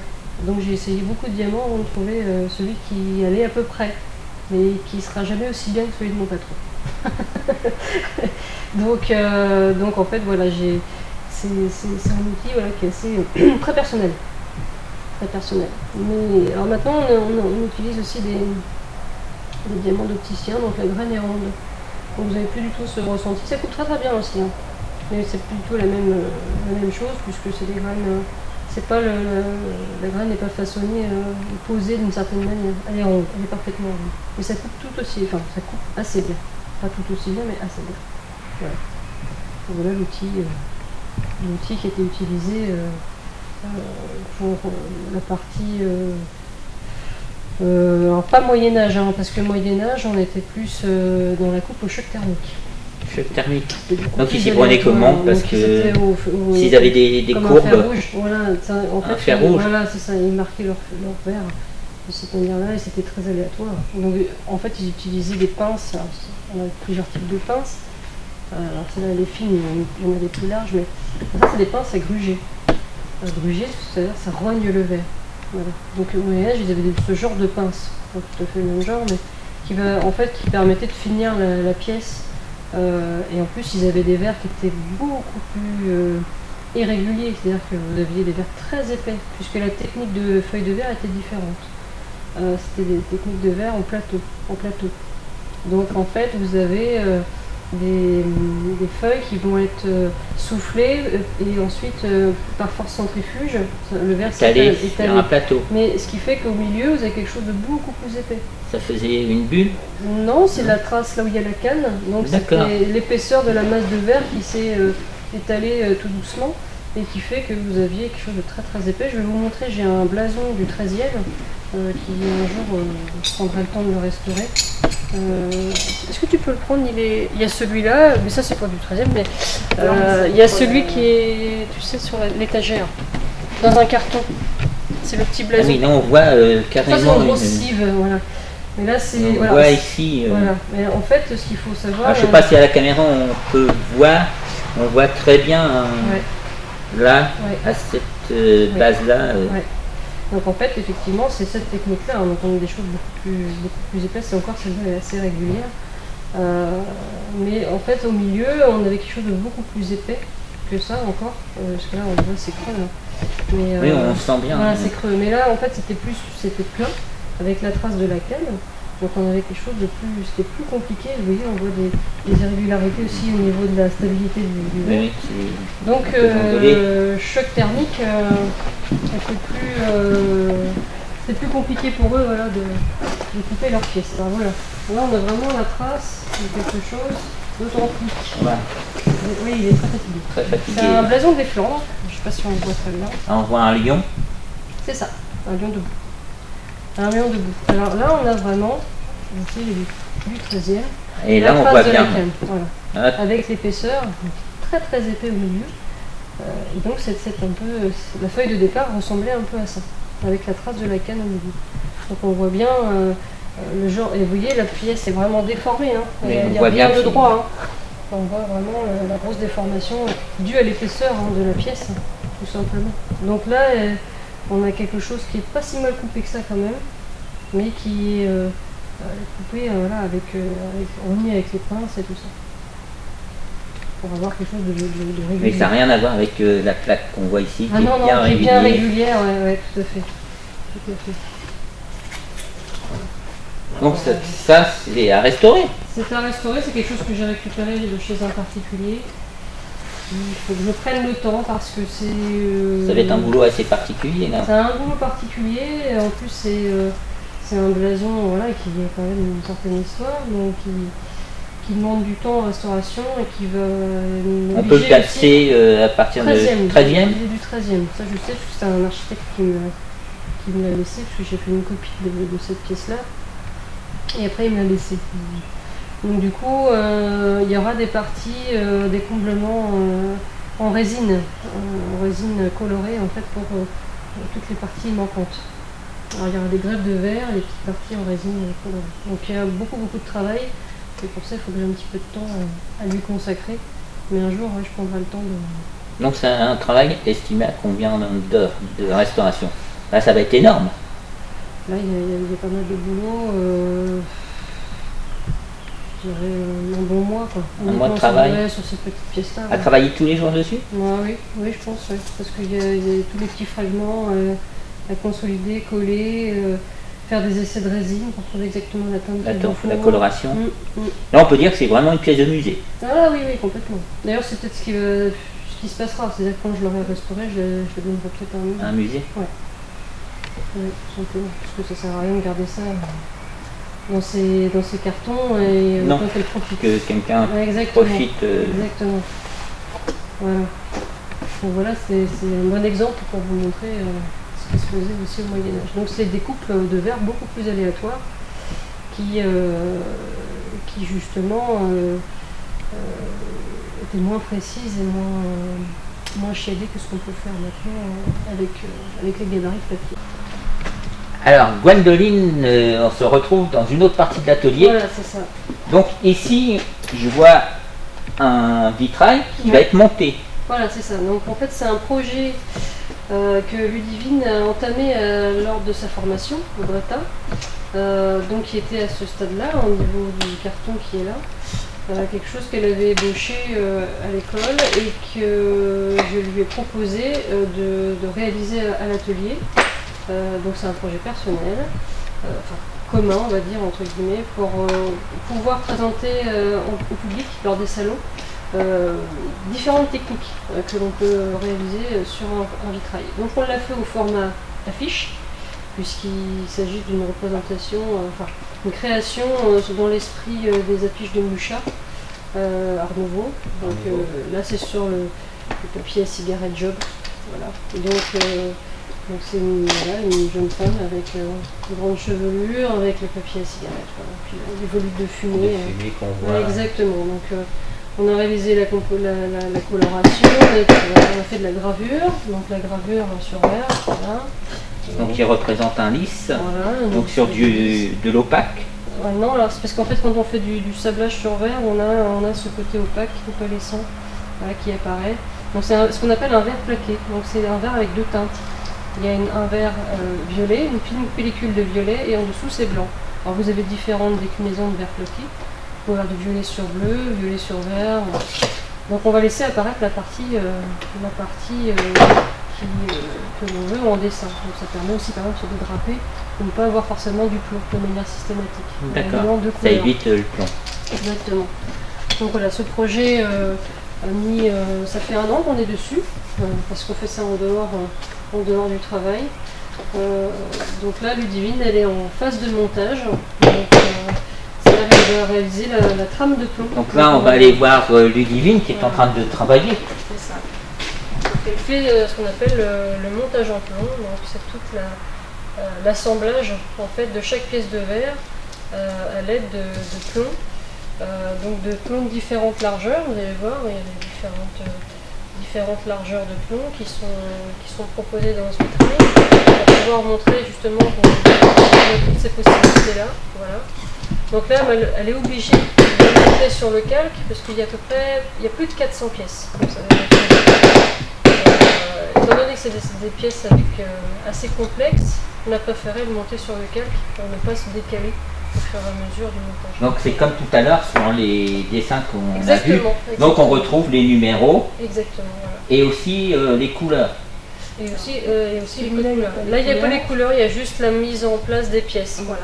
Ça nous permet juste, avec la numérotation, c'est déjà suffisant. Les couleurs sont déjà, Sont déjà, faites, euh, voilà. inscrites. Elles sont indiquées sur les calibres en fait. Et là, c'est- C'est fait sur des gabarits, exactement. Donc du coup, là, ça lui aide plus à monter son vitrail au fur et à mesure. Alors comment ça s'appelle cette C'est une baguette, une baguette de plomb. Alors ce qui est, euh, ça paraît étonnant, mais le plomb c'est très très souple. On peut lui donner la forme que l'on veut. C'est toute la magie du plomb, c'est pour ça qu'on n'a pas d'autre chose comme matériau. Donc c'est pas 100% plomb. Il y a un peu d'étain. Alors plus vous avez d'étain, plus le plomb est rigide, plus il devient vraiment euh, ferme. Euh, donc ça peut être bien pour de la vitrerie avec des grandes droites, mais c'est préférable d'avoir un plomb, hein, ce qu'on appelle, alors du dur, du demi-dur et du demi-mou en plomb. Donc euh, pour travailler, nous on travaille souvent avec du demi-dur, à la fois euh, rigide mais pas trop mou non plus, qui se déforme pas trop non plus en fonction de la manipulation. Donc là pour ce type de, ch- de- de- de représentation figurative où il y a beaucoup de chevelure, de volutes. Euh, c'est intéressant de travailler avec un plomb. Alors là on voit Lu- Ludivine hein, qui est justement en train d'utiliser un, un outil euh, qui tranche euh, ce plomb. Alors comment il s'appelle cet outil? C'est un couteau, un couteau à plomb tout simplement. Couteau à plomb. On a plusieurs euh, formes en fait, donc euh, celui-ci est quand même assez pratique avec sa pointe. Comme parfois, bah, là pour le coup, on a des endroits très exigus. Donc c'est très pratique d'avoir une pointe pour aller euh, voilà, former le plomb, bien le mettre en place. Puis après, si on a du travail euh, en ligne droite comme on a pu voir sur d'autres tracés, bah, celui-ci est parfait puisqu'il il est tout plat, donc il nous aide à garder le plomb bien droit euh, pour mettre en place toutes les pièces. Alors là j'ai une petite pièce. Oui. Ah, Elle est placée ici mais Ah, c'est la prochaine. c'est la prochaine. Ah, je vais venir la placer moi. Ah bah oui, si vous voulez, il faut que je mette le petit bout de plomb avant, mais euh, elle va y aller. Ah, le, le- le morceau de plomb avant. On va venir entre les deux pièces, parce que chaque plomb a une forme bien spécifique, parce qu'il doit s'adapter à la pièce qui va, qui va venir autour. Donc là, je dois le tailler en pointe pour que justement il épouse bien le plomb dans lequel il va. Donc la forme. Voilà, vous voyez, là je lui ai fait une petite pointe pour qu'il puisse bien venir à cet endroit-là.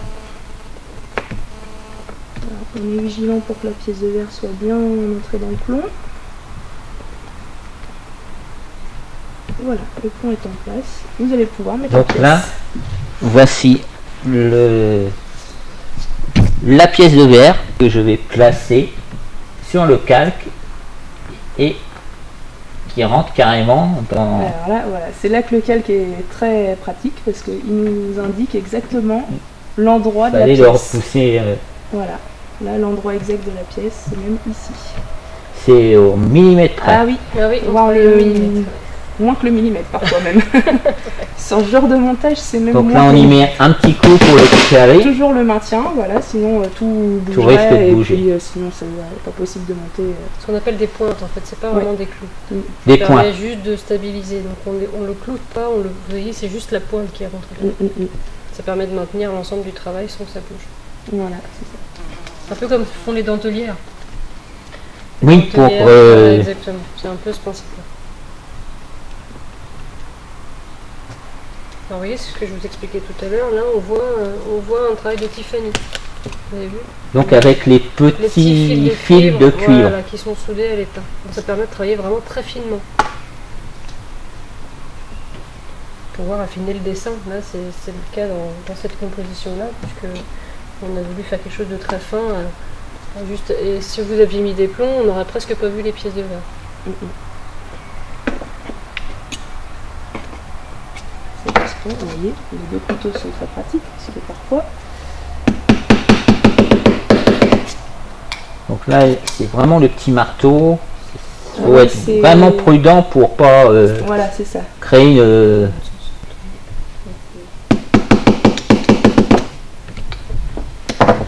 surtout faire attention de ne pas choquer les pièces de verre.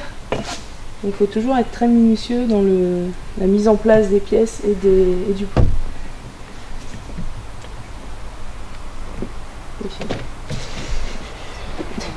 Ça brille.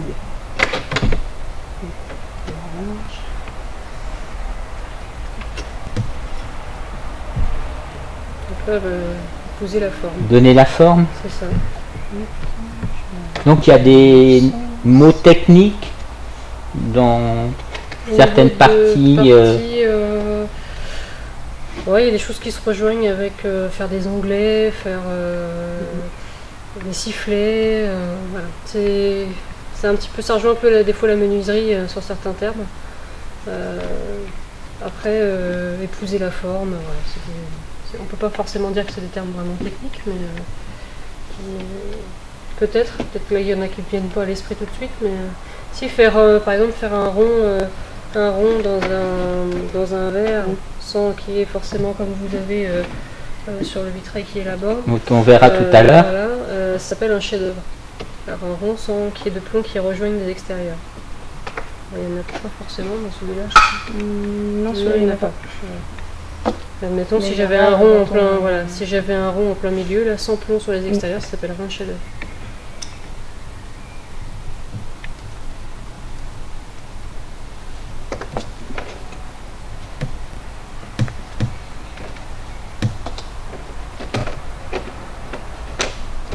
C'est vrai que c'est des, parties euh, assez techniques, parce qu'il ne faut pas de décalage. Euh, après, au fur et à mesure du montage, il peut y avoir euh, des plombs qui sont à redresser, puisque ça reste très souple.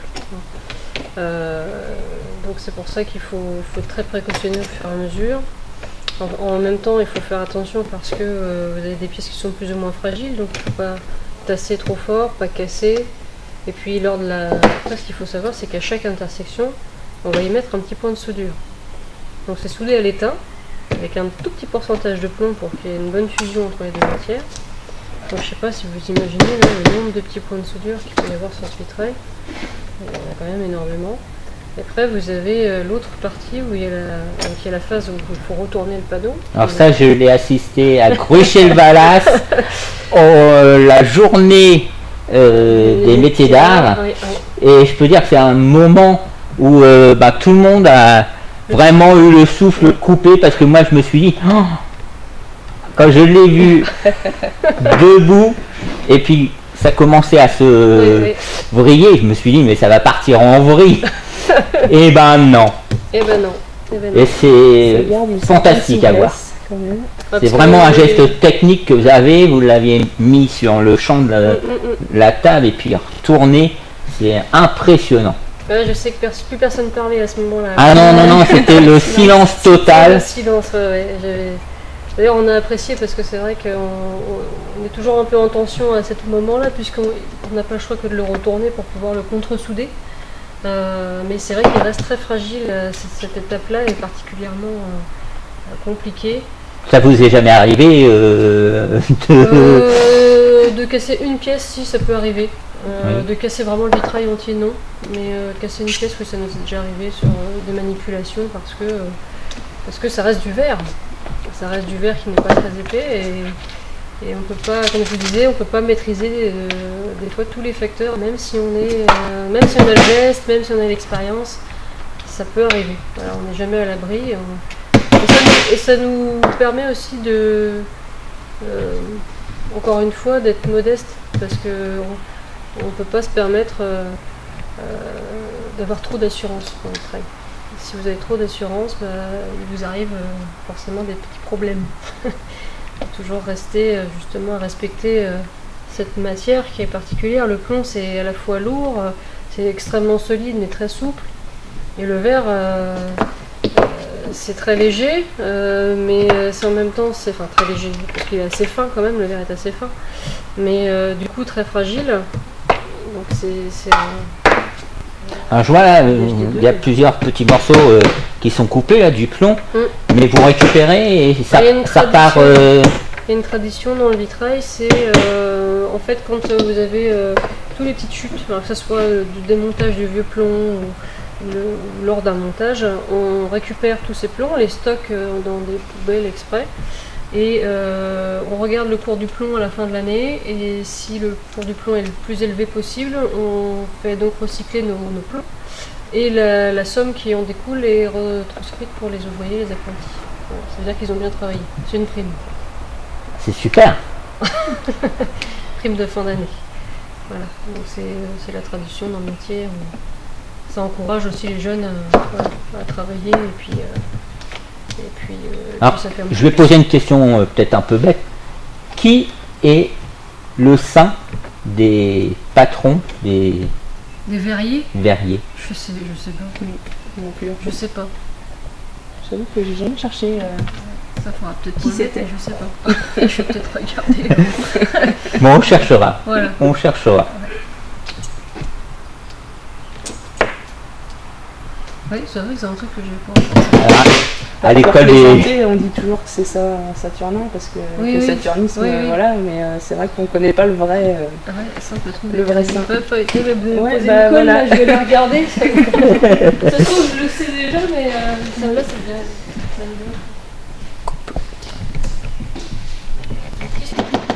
Alors là, ben, on vient de découvrir que c'est marrant, c'est mon prénom, le saint des, des vitriers Vitrailliste. et Ouais, vitraillistes, des verriers, des maîtres verriers. Il y a hein. Saint-Clair et Saint-Laurent. Saint-Clair et Saint-Laurent. Ouais. Alors pour ma première émission, quand même, c'est Ah, formidable, hein. Je m'appelle Laurent. euh, Alors ça veut dire que l'émission elle va fonctionner du tonnerre. C'est ça, ça doit être ça. J'espère. Il y a des bonnes ondes. Oui, il y a des bonnes ondes Des bonnes euh, ondes, positives. Voilà.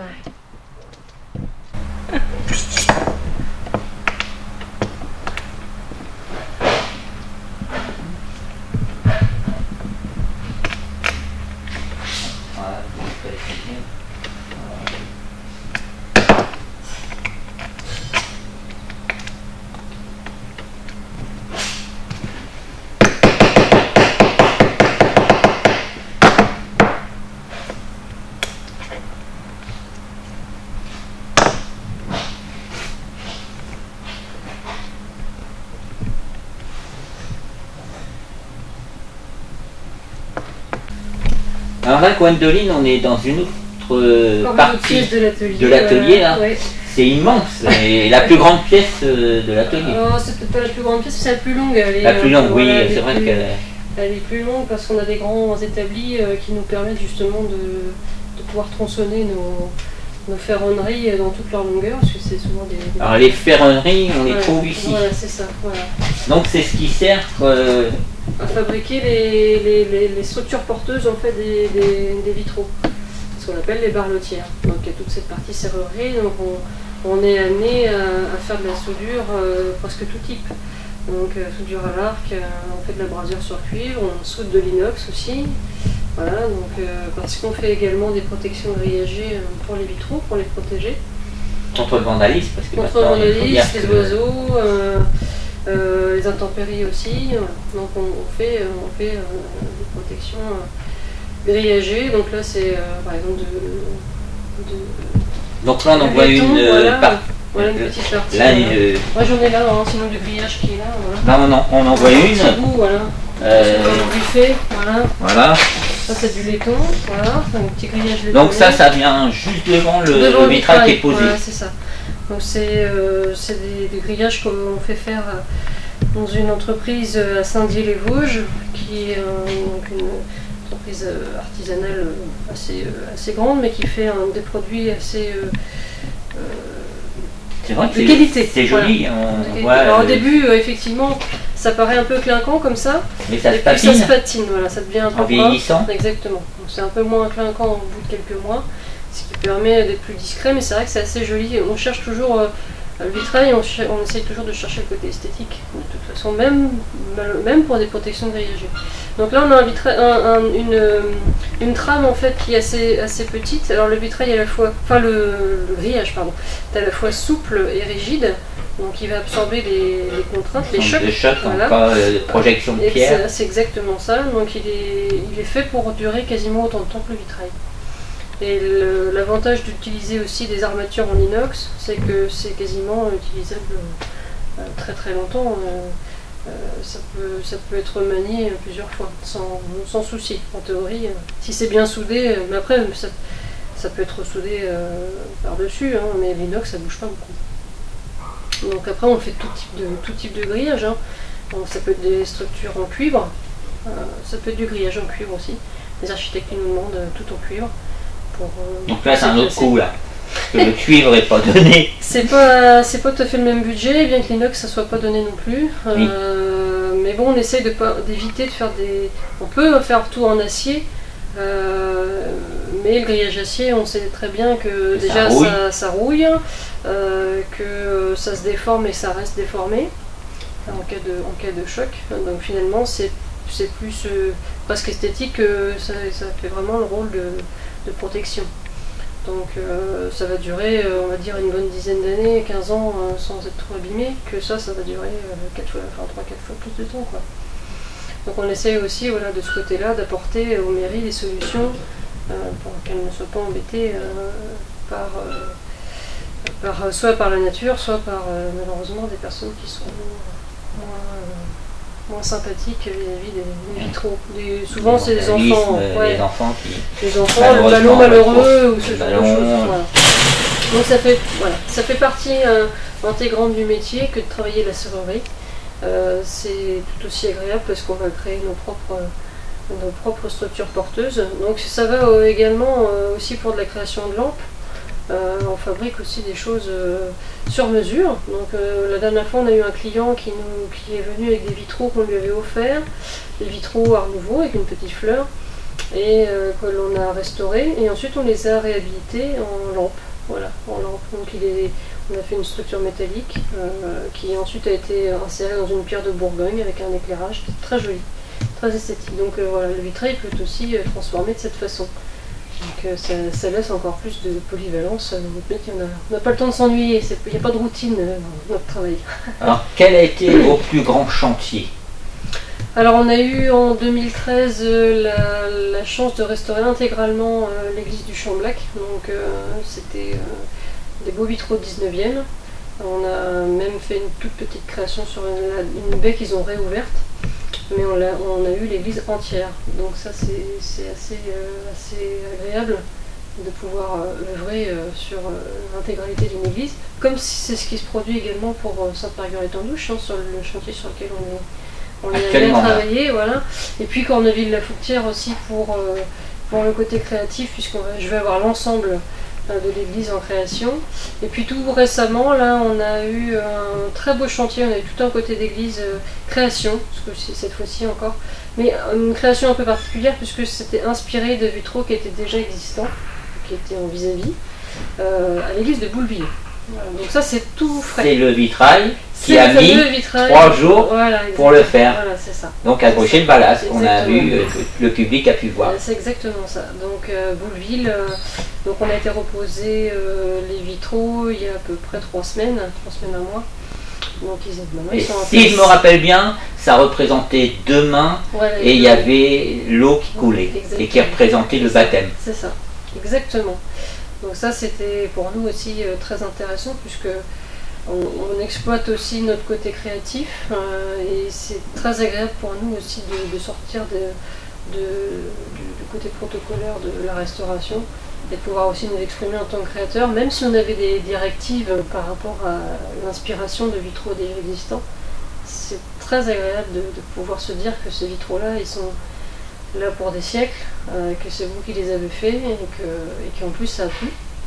Tout le monde est très content du travail qu'on a, qu'on a rendu. Donc euh, après, comme je vous dis, il y a toujours des, des éternels insatisfaits, mais pour ma, enfin, de ce qu'on a pu voir des personnes qui sont passées nous voir en cours de, en cours de chantier, tout le monde était vraiment satisfait du travail. Donc c'est très agréable pour nous. On va dire que plus le temps avance, et effectivement le fait d'avoir nos titres respectifs avec, avec Cyril, euh, plus, euh, plus les gens nous confient des travaux de plus en plus importants. C'est ce qu'on ce qu'on voulait hein, de toute façon pour, pour pouvoir que l'atelier euh, grandisse, prospère, forme. voilà. Tout ce qu'on demande, c'est d'avoir suffisamment de, Actuellement, votre rêve, ça serait d'aller faire quel chantier sur la France? Cathédrale de Strasbourg, Notre-Dame de Paris? vous savez, hein, là, on travaille déjà, par exemple, la cathédrale d'Evreux. Euh, euh, à partir du moment où vous travaillez dans des édifices euh, de cette ampleur-là, forcément, c'est d'une autre dimension. C'est vrai que, on va dire que mon rêve, ce serait une rosace. Soit de créer, soit de restaurer une rosace.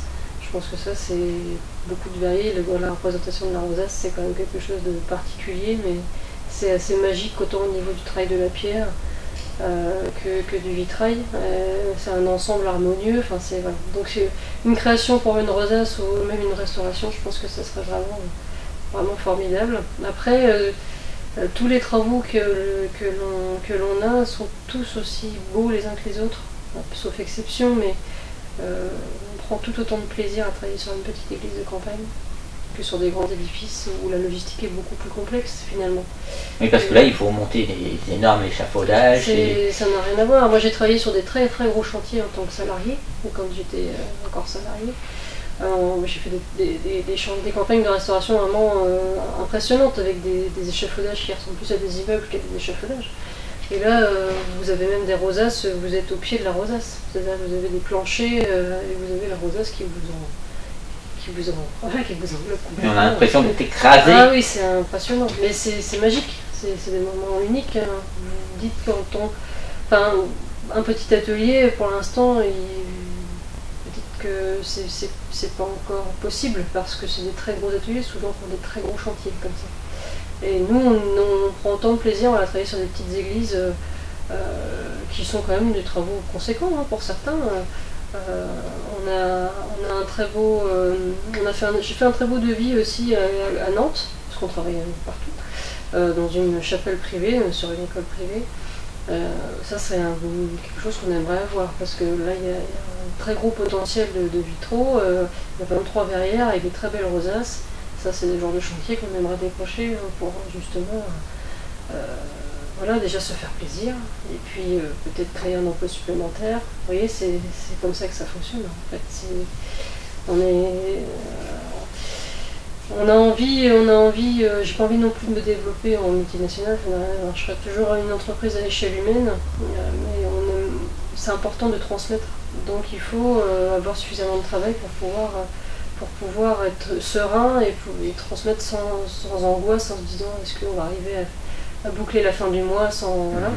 Parce que c'est compliqué quand même d'être artisan, même, même, quand, tout, même quand, tout, se passe très bien.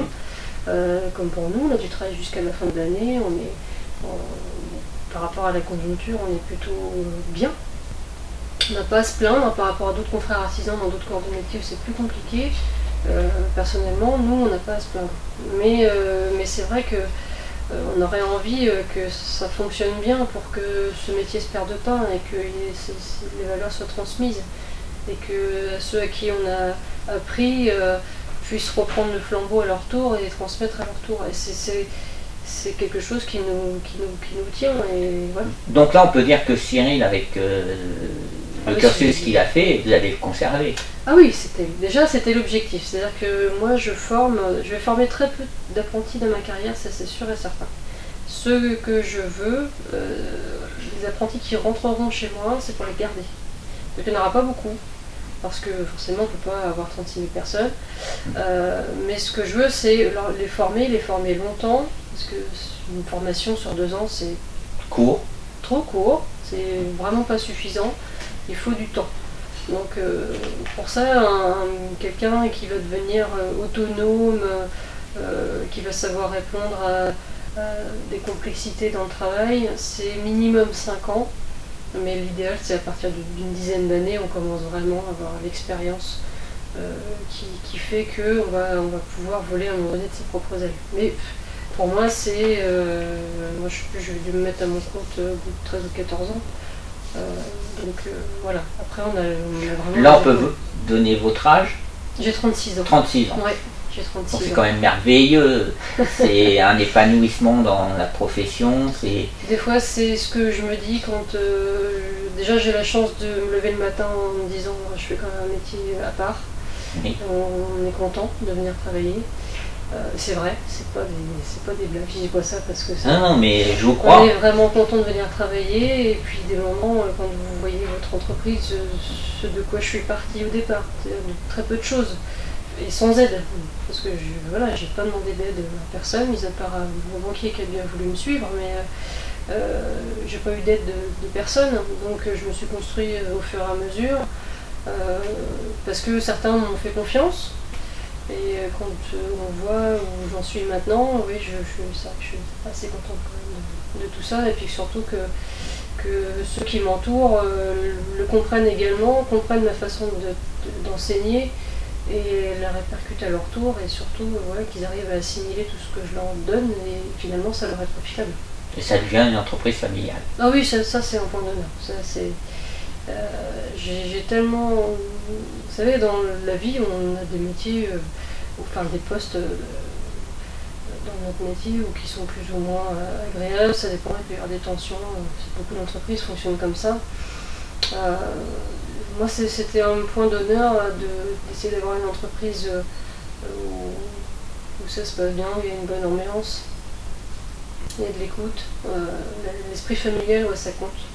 Ça compte parce que je pense que quelqu'un qui est bien dans sa peau, bien dans sa tête, il a envie de bien faire. Mhm. Il a envie de bien faire, il prend plaisir à faire les choses. Il regarde pas sa montre en se disant. Tous les 5 minutes, j'ai hâte de partir. J'ai hâte de partir. Et je, je pense que pour faire ce métier-là, il faut être bien bien. C'est vrai que des fois, ça euh, le fait d'être dans une contrainte, ça vous oblige à vous, dépasser. C'est vrai que dans, on pourrait raisonner dans l'autre sens. Mais je suis plus dans la philosophie de Godin, par exemple, voyez-vous, euh, mhm. qui, euh, qui a prospéré vraiment énormément en ayant justement. voilà, on, a enfin, en valorisant ses ouvriers, tout simplement. Je pense que ça c'est important euh, d'être dans la bonne ambiance euh, par rapport à tout ce qui se fait maintenant, toutes ces politiques. Euh, Et Ludivine, elle n'a pas envie de se présenter au concours meilleur ouvrier de France Ça se fera. L'objectif de l'atelier, c'est que tout le monde soit mort. Que tout le monde. Par contre, effectivement, financièrement, il faut pouvoir aussi assurer. ça a un coût? c'est pas que c'est un. Alors c'est un coût, euh, c'est un coût personnel parce que c'est vous qui financez votre MOF. Mais après derrière en tant que salarié, euh, effectivement, euh, en tant que patron, il va falloir que je paye mon salarié à hauteur de son prestige. Ce qui est normal. Oui. Voilà. Et c'est là le, bah, coût, le coût, il est là. Le coût il est là. Mais bien sûr que je veux qu'ils soient tous MOF. Je veux qu'on soit tous à égalité à ce niveau-là. Et, moi je retenterai peut-être le concours dans une petite dizaine d'années en peinture, je pense, peinture sur verre. Parce qu'il y a chaque catégorie? Oui, il y a plusieurs catégories. Euh, moi, j'ai choisi euh, euh, Cooper, monteur, sertisseur. Et, après, il y a Donc là, c'est le prix que vous avez gagné. Là. Oui, c'est ça. Et, et Cyril, bon, meilleur apprenti. Oui. Donc ça se passe comment pour lui? C'est un tout petit peu différent. C'est un, petit peu différent. C'est un sujet qui est aussi imposé, un motif. Euh, on ne leur demande pas, non, c'est à, niveau, hein, le sujet est à niveau de, l'expérience de l'élève, hein, ce qui est normal. Donc le vitrail est beaucoup plus petit. Euh, donc là, on est dans la partie aussi technique, c'est-à-dire la coupe, euh, le choix de la coloration et la, technique de montage et de, qualité de soudure et tracé, dessin, enfin, l'ensemble du, travail qui est adapté au niveau de l'élève. Donc c'est un petit peu différent de nous, il y a des similitudes, euh, parce que nous on a effectivement plusieurs catégories euh, euh, par rapport à, notre métier. En peinture sur verre, il y a, maquettiste cartonnier et traceur, coupeur, moteur. Donc là, c'est quand même quelque chose d'important pour Cyril, d'être meilleur apprenti de France, parce que ça va lui ouvrir des portes derrière. Je, ah oui, de toute façon, euh, oui, euh, quand vous avez ce genre de titre, c'est que vous avez une, une qualité de, euh, travail qui est, bien supérieure à un CAP quand même. Parce que c'est quand même un, niveau qui est quand même euh, assez euh, complexe. hein. Le sujet qu'il a eu, il était bien, bien chiadé. Donc, euh, On, on va pouvoir le voir, son sujet ou- Euh, Est-ce que je l'ai là Je Et puis votre, si euh. Alors le mien, oui, je vais, ouais. il est là, mais je sais pas si le sien il est euh, resté là ou s'il l'a repris. Mais je crois qu'il est là, je suis pas sûre. Je, peux, vous- je vais essayer de vous le. On va y aller. Oui. Alors donc là, Gwendoline, Mm. c'est le travail De Cyril. de Cyril. Oui, pour son, son meilleur apprenti de France. Donc c'était un, un modèle en fait qu'il avait à, reproduire. Donc c'est lui qui a choisi ses, colorations euh, de verre. Parce qu'il avait euh, des contraintes aussi au niveau des verres. On, lui disait euh, telle ou telle chose doit être, verte par exemple. Mais après c'est lui qui a choisi au, niveau des, au niveau des fleurs la- les couleurs. Donc là il y en a une jaune. euh, orangé rouge, il y en a une ro- rose violette et une bleue. voilà, c'est des, des fleurs de. Des iris Des, Des iris. iris. Voilà, j'ai cherché le mot. Des fleurs d'iris, voilà. Donc là, ça a été carrément un travail imposé. Tra- ouais, travail imposé. Voilà.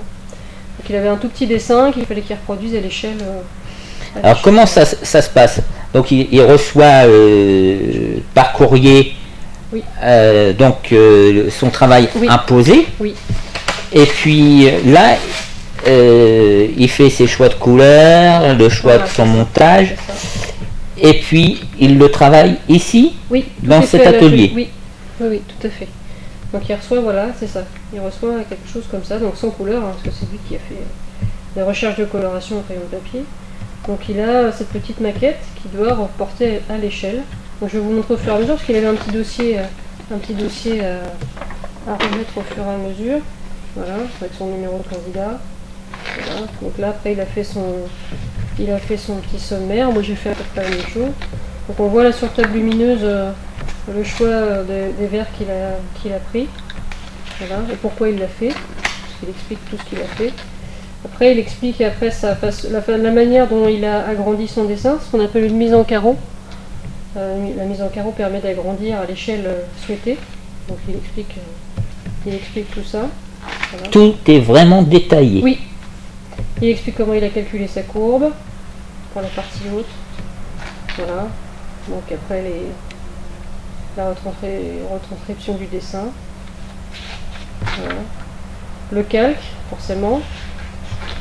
Voilà, donc il a fait son carbone. Un carbone, c'est pour avoir une troisième empreinte de son dessin pour pas toucher son, son tracé d'origine.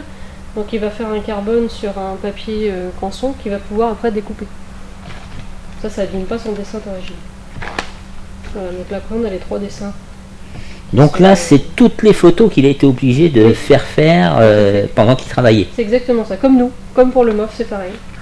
C'est le même, euh, le même problème. Donc là, on voit bien euh, le gabarit, avec, enfin la- le, le calibrage avec, les, avec le ciseau.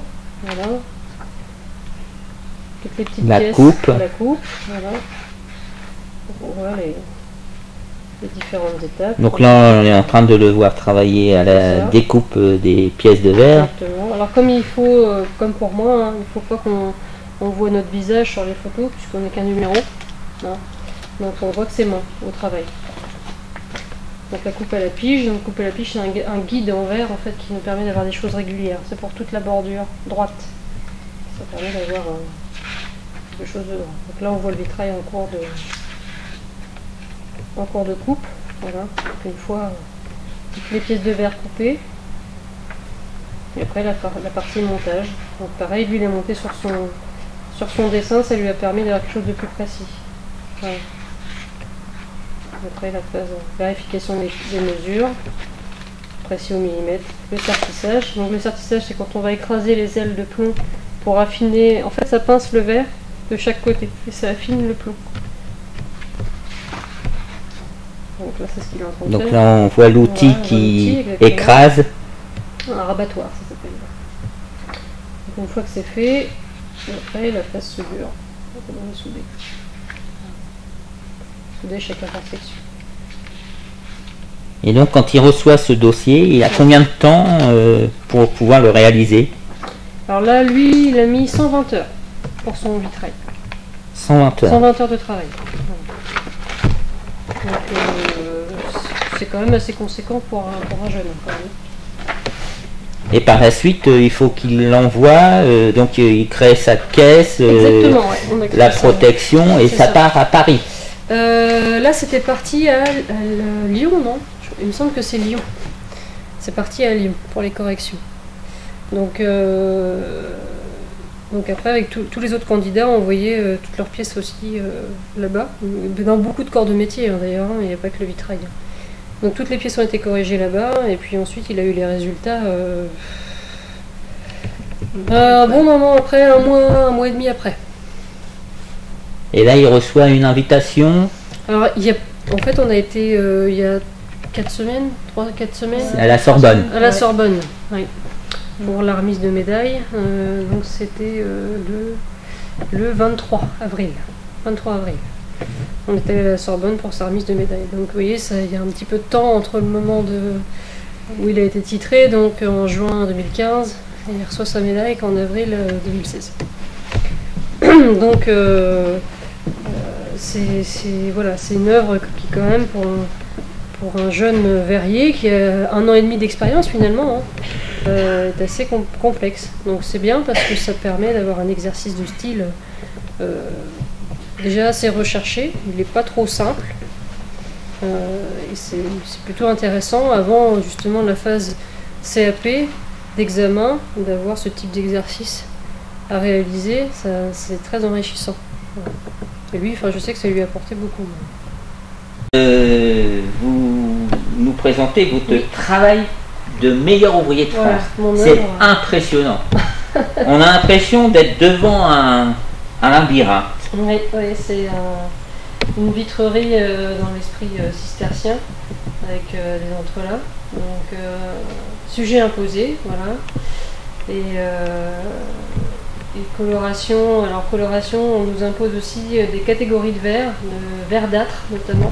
C'est surtout pour mettre en avant le côté technique de mise en plomb. Euh, le choix de ces verdâtres. euh, on voit bien, hein, euh, révèle bien en fait le plomb, le côté gris et les soudures. Euh, tout ressort vraiment. Euh, c'est Alors c'est vrai qu'on voit là euh, des différences de teintes de verre. voilà. Donc il y a Donc il y a trois du vert plus plus foncé, voilà. vert un peu plus clair. Exactement, exactement. Donc ma coloration, donc elle est, elle est là sur, euh, sur papier. On va peut-être euh, mieux s'en rendre compte. Euh, je sais pas si je vais y avoir. peut-être pas, que peut-être pas. Non, en fait, j'ai choisi trois, teintes de verre différentes.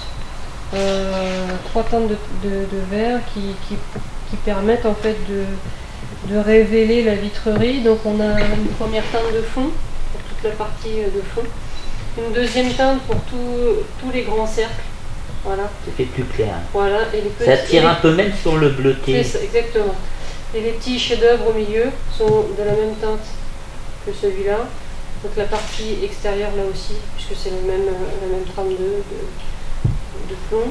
Euh, je crois que celle- celle-ci aussi. Donc ça permettait en fait au, à l'entrelac de se révéler.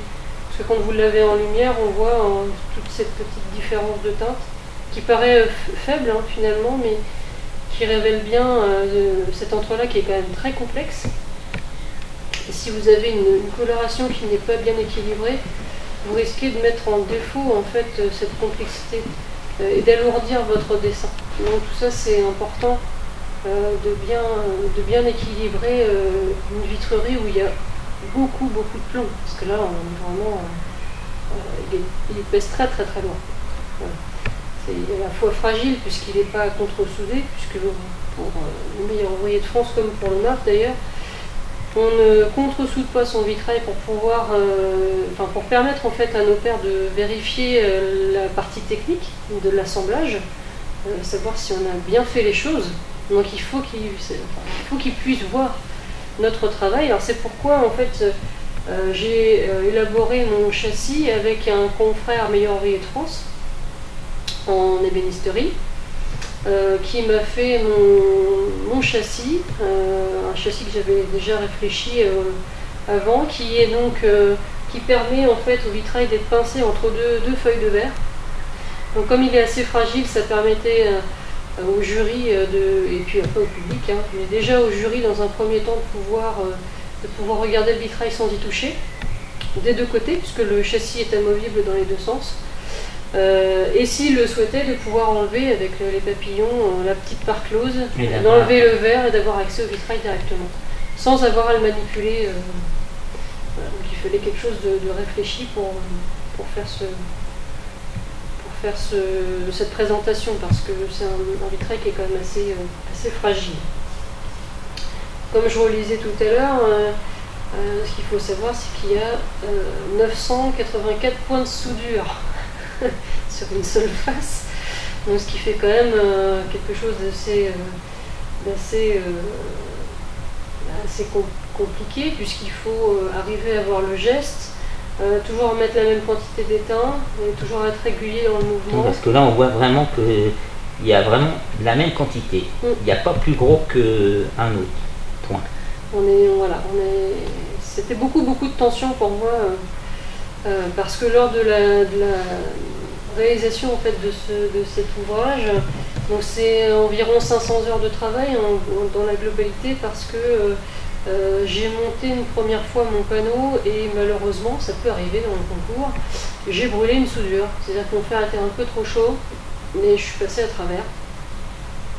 Donc obligé, euh, donc le temps était quand même compté, voilà.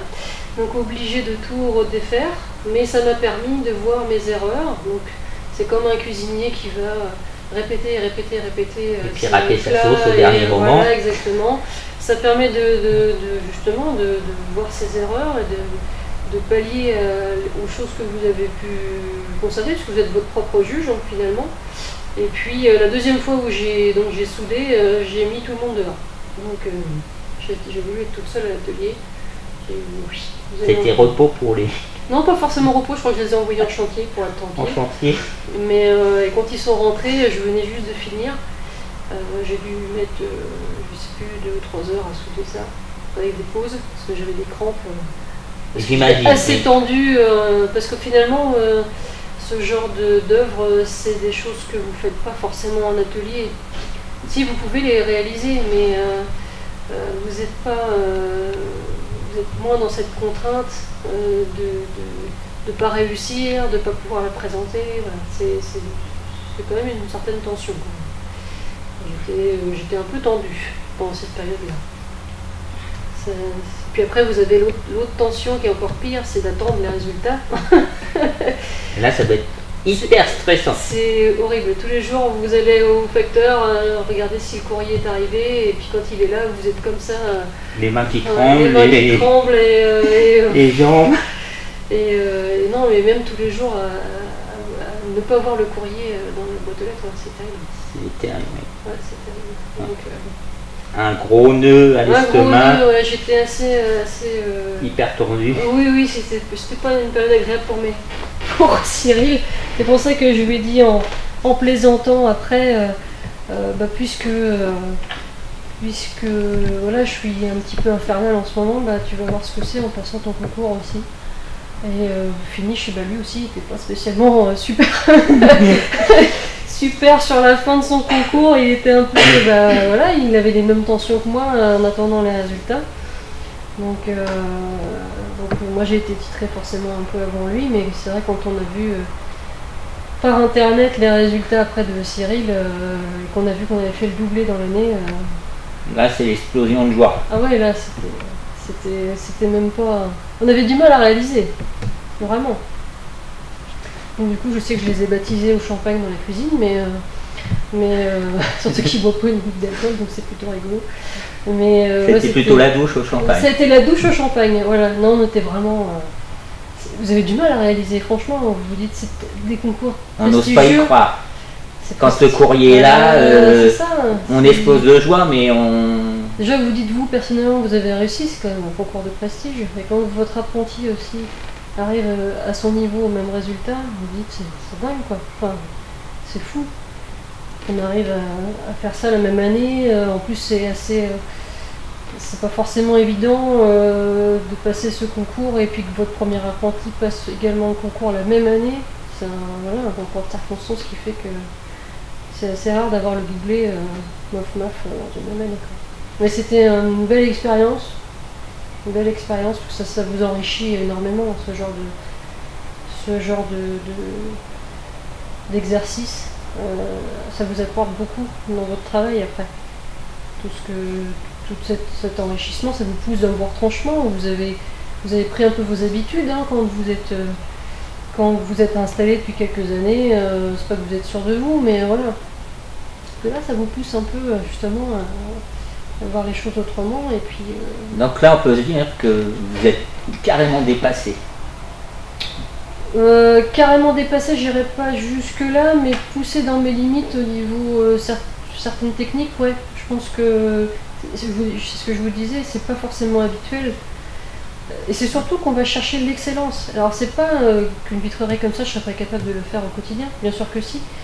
Mais, mais là, on va chercher la perfection. Donc c'est encore différent, c'est-à-dire que vous allez vraiment amener un petit couac dans un vitrail, c'est- vu que vous allez souder Donc des là, on deux peut, côtés. on peut dire que pour ce travail, le plus gros, ça a été la soudure. Pour vous. Ah non, euh, le- Non. Enfin oui, parce que là vous n'avez pas le droit à l'erreur. Voilà, c'est la soudure, si vous en mettez trop, pas assez, euh, si vous, vous passez à travers, vous chauffez, oui, là c'est voilà, C'est foutu. c'est foutu. Parce que c'est vrai que la partie coupe, euh, vous pouvez louper une pièce, vous la refaites. Bon. Euh, le montage, bah, c'est un peu pareil. euh, Vous pouvez un peu louper une partie de montage, vous défaites le plomb, vous le recommencez. C'est plus long, mais vous le refaites. La soudure, tout est fermé, votre vitrail il est fini. Vous n'avez plus qu'à faire. Là, effectivement, c'est pas que c'était compliqué, c'était le côté, la en fait euh, d'av- d'avoir quelque chose de, régulier sur autant de points de soudure. Parce que là, il y a quand même. D'habitude, il n'y en a pas autant dans un vitrail. Mais là, c'est d'avoir quelque chose de tout d'une même face et essayer d'avoir quelque chose de régulier. C'est là où. Mais c'est ça le mof. hein. C'est ça le On va, on va chercher ce qu'on n'a pas l'habitude d'aller chercher. Et c'est ce qui vous apporte bah, tout, tout ce côté positif euh, dans ce type de concours. Et la qualité. Et la qualité. Et ça vous, c'est bien parce que ça vous pousse dans vos retranchements, ça vous prouve que vous- au finish vous êtes capable de le faire. Et, ça vous apporte beaucoup sur le, le quotidien après, dans le travail. Vous, êtes- vous vous sentez plus en confiance, on va dire ça comme ça.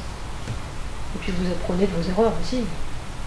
Alors, au jour d'aujourd'hui, si vous avez un conseil à donner à un jeune Oui. qui voudrait euh, faire cette profession, qu'est-ce que ça serait? Euh, d'avoir de la ténacité, parce que c'est euh, un métier qui demande. Euh, faut être motivé, vraiment. Et avoir la, la fibre, la passion Il faut avoir la YAC. aussi, je pense. C'est un tout. Mais je pense que quand on a la passion, après tout en découle. Euh, il faut avoir le déclic. Mais vous n'êtes pas forcément obligé de l'avoir tout de suite. Des fois, vous pouvez découvrir un métier et au fur et à mesure, vous dire que c'est vraiment quelque chose qui est fait pour vous. Des fois, on ne l'a pas forcément de manière immédiate. Mais à force de découvrir, on apprécie de plus en plus de, voir des belles choses, d'être en contact avec des choses différentes. Moi, enfin, nous, on sait qu'on a un métier différent. C'est ce qui nous rend, euh, c'est ce qui nous permet de vivre aussi, parce que voilà, on n'est pas, on est euh, aux antipodes de cette mondialisation. On est vraiment dans un, dans, autre chose. Et quand on aime le beau ou ce genre de choses, un jeune qui découvre un métier d'art, quel qu'il soit, hein, que ce soit le vitrail ou un métier d'art en général, il faut qu'il arrive à, attraper cette petite étincelle qui lui donnera euh, toute la motivation qu'il a, besoin pour, euh, avoir envie de, persévérer dans ce genre de, métier. Après, euh, c'est un métier qui nous demande de bouger beaucoup. Ça, c'est une autre contrainte. Il ne faut pas avoir peur de se déplacer, pas chercher à avoir l'école à côté de chez soi, ça marche pas. Quand on me dit souvent, oh mais c'est Nancy, ça fait loin. Non, c'est pas loin. Non, c'est pas loin. mais non, c'est pas loin, mais. Quelques kilomètres de, non, de mais- Bernay. C'est vrai, maintenant avec tous les non, moyens. mais moi, je euh, parle de l'école. Nancy, de l'école, ouais, non, les- oui, Nancy, c'est un peu plus loin, mais c'est pas, c'est pas si loin finalement. Non. Euh, avant, on avait. Euh, le gamin est parti à l'armée, on se posait pas la question de savoir si c'était bon ou si c'était pas bon. Euh, mais c'est vrai que la plupart du temps, les jeunes, ah oui, mais l'école, elle est loin. Mais non, mais. C'est d'être éloigné des parents, je la famille, ça, ça, rebute un peu. Ça rebute. Mm. mais quand on est vraiment motivé, c'est d'avoir vraiment envie et d'aimer le, beau et d'avoir de la patience aussi pour. Alors le problème actuellement dans les lycées, mm. c'est que de ces métiers, on n'en parle pas. On en parle très peu. De plus en plus, quand même. De plus en plus, ça se démocratise. C'est-à-dire que les métiers d'art sont de plus en plus mis en avant, quand même. On sent depuis 5 euh, ans à peu près, c'est de plus en plus. Euh, on en parle de plus en plus. Mais c'est pour ça aussi que nous, on fait des salons et qu'on initie aussi le public euh, à l'heure du vitrail, avec des initiations gratuites comme vous avez pu Comme euh, la journée nationale. voilà, des métiers d'art, où on, essaie, on essaye justement à chaque salon que l'on fait de proposer, de proposer ça, de faire des démonstrations nous, mais également que le public soit en interaction avec nous, pour mieux comprendre et voilà, susciter d'éventuelles vocations pour des, pour jeunes. Alors on va conclure notre émission, notre première émission avec Gwendoline et Ludivine. On regrette que malheureusement Cyril n'était pas là, mais on reviendra dans l'atelier rencontrer Cyril une prochaine fois. Donc, vous pouvez contacter Gwendoline, elle vous donnera tous les renseignements si vous avez besoin. Je sais aussi que vous avez un site internet. Oui. On va pouvoir le donner euh, Alors, c'est gwenglass-e-monsite.com. Voilà. Et on peut retrouver des photos. Voilà et un site, on a une page Facebook aussi. Facebook aussi. Et vous organisez de temps en temps, quand il y a assez de monde, des stages. Des stages d'initiation. Alors ça fait un petit moment qu'on ne l'a pas fait parce qu'on a trop de travail. Mais effectivement, sur notre site, on a une, section euh, stage où on met les dates et euh, on a une fiche d'inscription à renvoyer à l'atelier quand les dates sont proposées. Alors, pour faire un stage, il faut voir quel âge? C'est à partir de 14 ans. 14 ans. Donc là, c'est un bon moyen de venir découvrir cette profession. et peut-être avoir profession. et peut-être avoir le déclic. C'est ça. Eh bien écoutez, on se retrouve d'ici un mois avec euh, une nouvelle émission chez un autre artisan. Donc je ne sais pas encore, vous le découvrirez dans notre prochaine émission sur TV76 Co. Bye bye, au revoir. Au revoir. Bonjour Cyril, alors on est venu à l'atelier mais malheureusement tu n'étais pas présent, tu étais à Nancy pour tes études. Donc meilleur apprenti de France déclaré 2015 avec euh, Gwendoline, meilleure ouvrière de France. Donc qu'est-ce que ça fait? Bah, Je dirais que c'est du, plutôt du, une reconnaissance et être fier de, de son métier qu'on réalise tous les jours et et d'avoir en fait ce, niveau-là, c'est vraiment de la chance et du travail. Et qu'est-ce qui t'a donné envie de faire ce métier? Euh, Alors, c'est assez compliqué. C'est qu'en premier, j'ai voulu être souffleur de verre, mais je peux pas, donc j'ai des problèmes de maladie, on va dire, j'ai des migraines souvent. Du coup, la chaleur, impossible. Et euh, du coup, ma grande-tante est passée devant un maître verrier à Paris. Elle a demandé si je pouvais tester euh, une heure ou deux, une après-midi, et je suis resté en fait toute l'après-midi. Et j'avais 10 ans et demi à cette époque-là, et du coup j'ai su que c'était ce métier-là que je voulais faire. Donc tu es tombé vraiment amoureux de ce métier. Alors maintenant, tu prépares quoi? Alors là je suis en, un deuxième CAP, donc j'ai eu mon CAP aussi à vitrailliste l'an dernier, en même temps que le titre. Donc là je fais un deuxième CAP en décoration sur verre, et après je, je vais normalement faire un BMA, donc un brevet des métiers d'art, en vitrail. Donc là maintenant, euh, on peut dire que tu restes à l'atelier Gwen Glass. C'est ça. Normalement, si la patronne est gentille, elle m'embauche. Donc elle est derrière la caméra. C'est bon, vous le gardez? Oui, oui, c'est bon. Donc euh, ton avenir est tout assuré. Voilà, c'est ça. Qu'est-ce que tu pourrais dire à un jeune qui aurait vraiment envie de se lancer dans le métier? Est-ce que tu as des conseils à lui apporter? Alors, c'est euh, le, quand il, il, fait des demandes d'apprentissage, ne pas désespérer, c'est pas si simple que ça. Et c'est un métier de passion, donc si la personne est vraiment passionnée, euh, il faut qu'elle garde son cap. Donc euh, tu envisages euh, dans un avenir un peu plus lointain de faire le concours de meilleur ouvrier de France? Toute façon, euh, la patronne nous oblige un petit peu à le faire. hein. Forcément, après, elle veut que des meufs dans son atelier. Donc, euh, Donc au niveau salaire, est-ce que c'est intéressant? Euh, en tant qu'apprenti ou en tant en tant qu'apprenti, euh, être meilleur apprenti de France? Ça change rien du tout euh, au niveau du salaire d'un apprenti. Être meilleur apprenti de France et apprenti, c'est le même salaire. Après, euh, apprenti, forcément, on a un, un salaire, un pourcentage du SMIC. C'est toujours, c'est déjà bien. Après, euh, c'est quand on obtient son, diplôme. Et d'autres diplômes, l'âge, c'est en fonction de ça.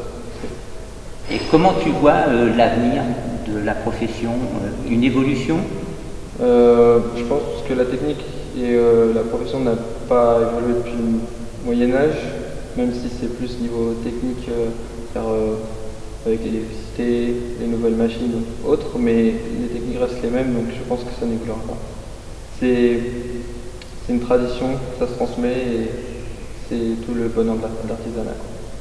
Eh bien écoute, on te souhaite euh, un très bon avenir dans cette profession. Merci et beaucoup. puis euh, ben, bientôt, euh, peut-être, donc on va le préciser, Cyril est à l'église de Lillebonne parce que je suis devenu président de l'association PREL qui maintenant va s'occuper de la restauration de cette église. Et nous avons le projet des 500 ans de cette église qui sera en 2017. Donc nous avons l'idée de faire venir Cyril et Gwendoline Guillou, meilleurs ouvriers de France, pour lancer une souscription pour la création d'un vitrail. Donc vous aurez d'autres reportages euh, à la suite à venir euh, à cette émission sur euh, les métiers d'art et métiers d'exception. À bientôt, au revoir.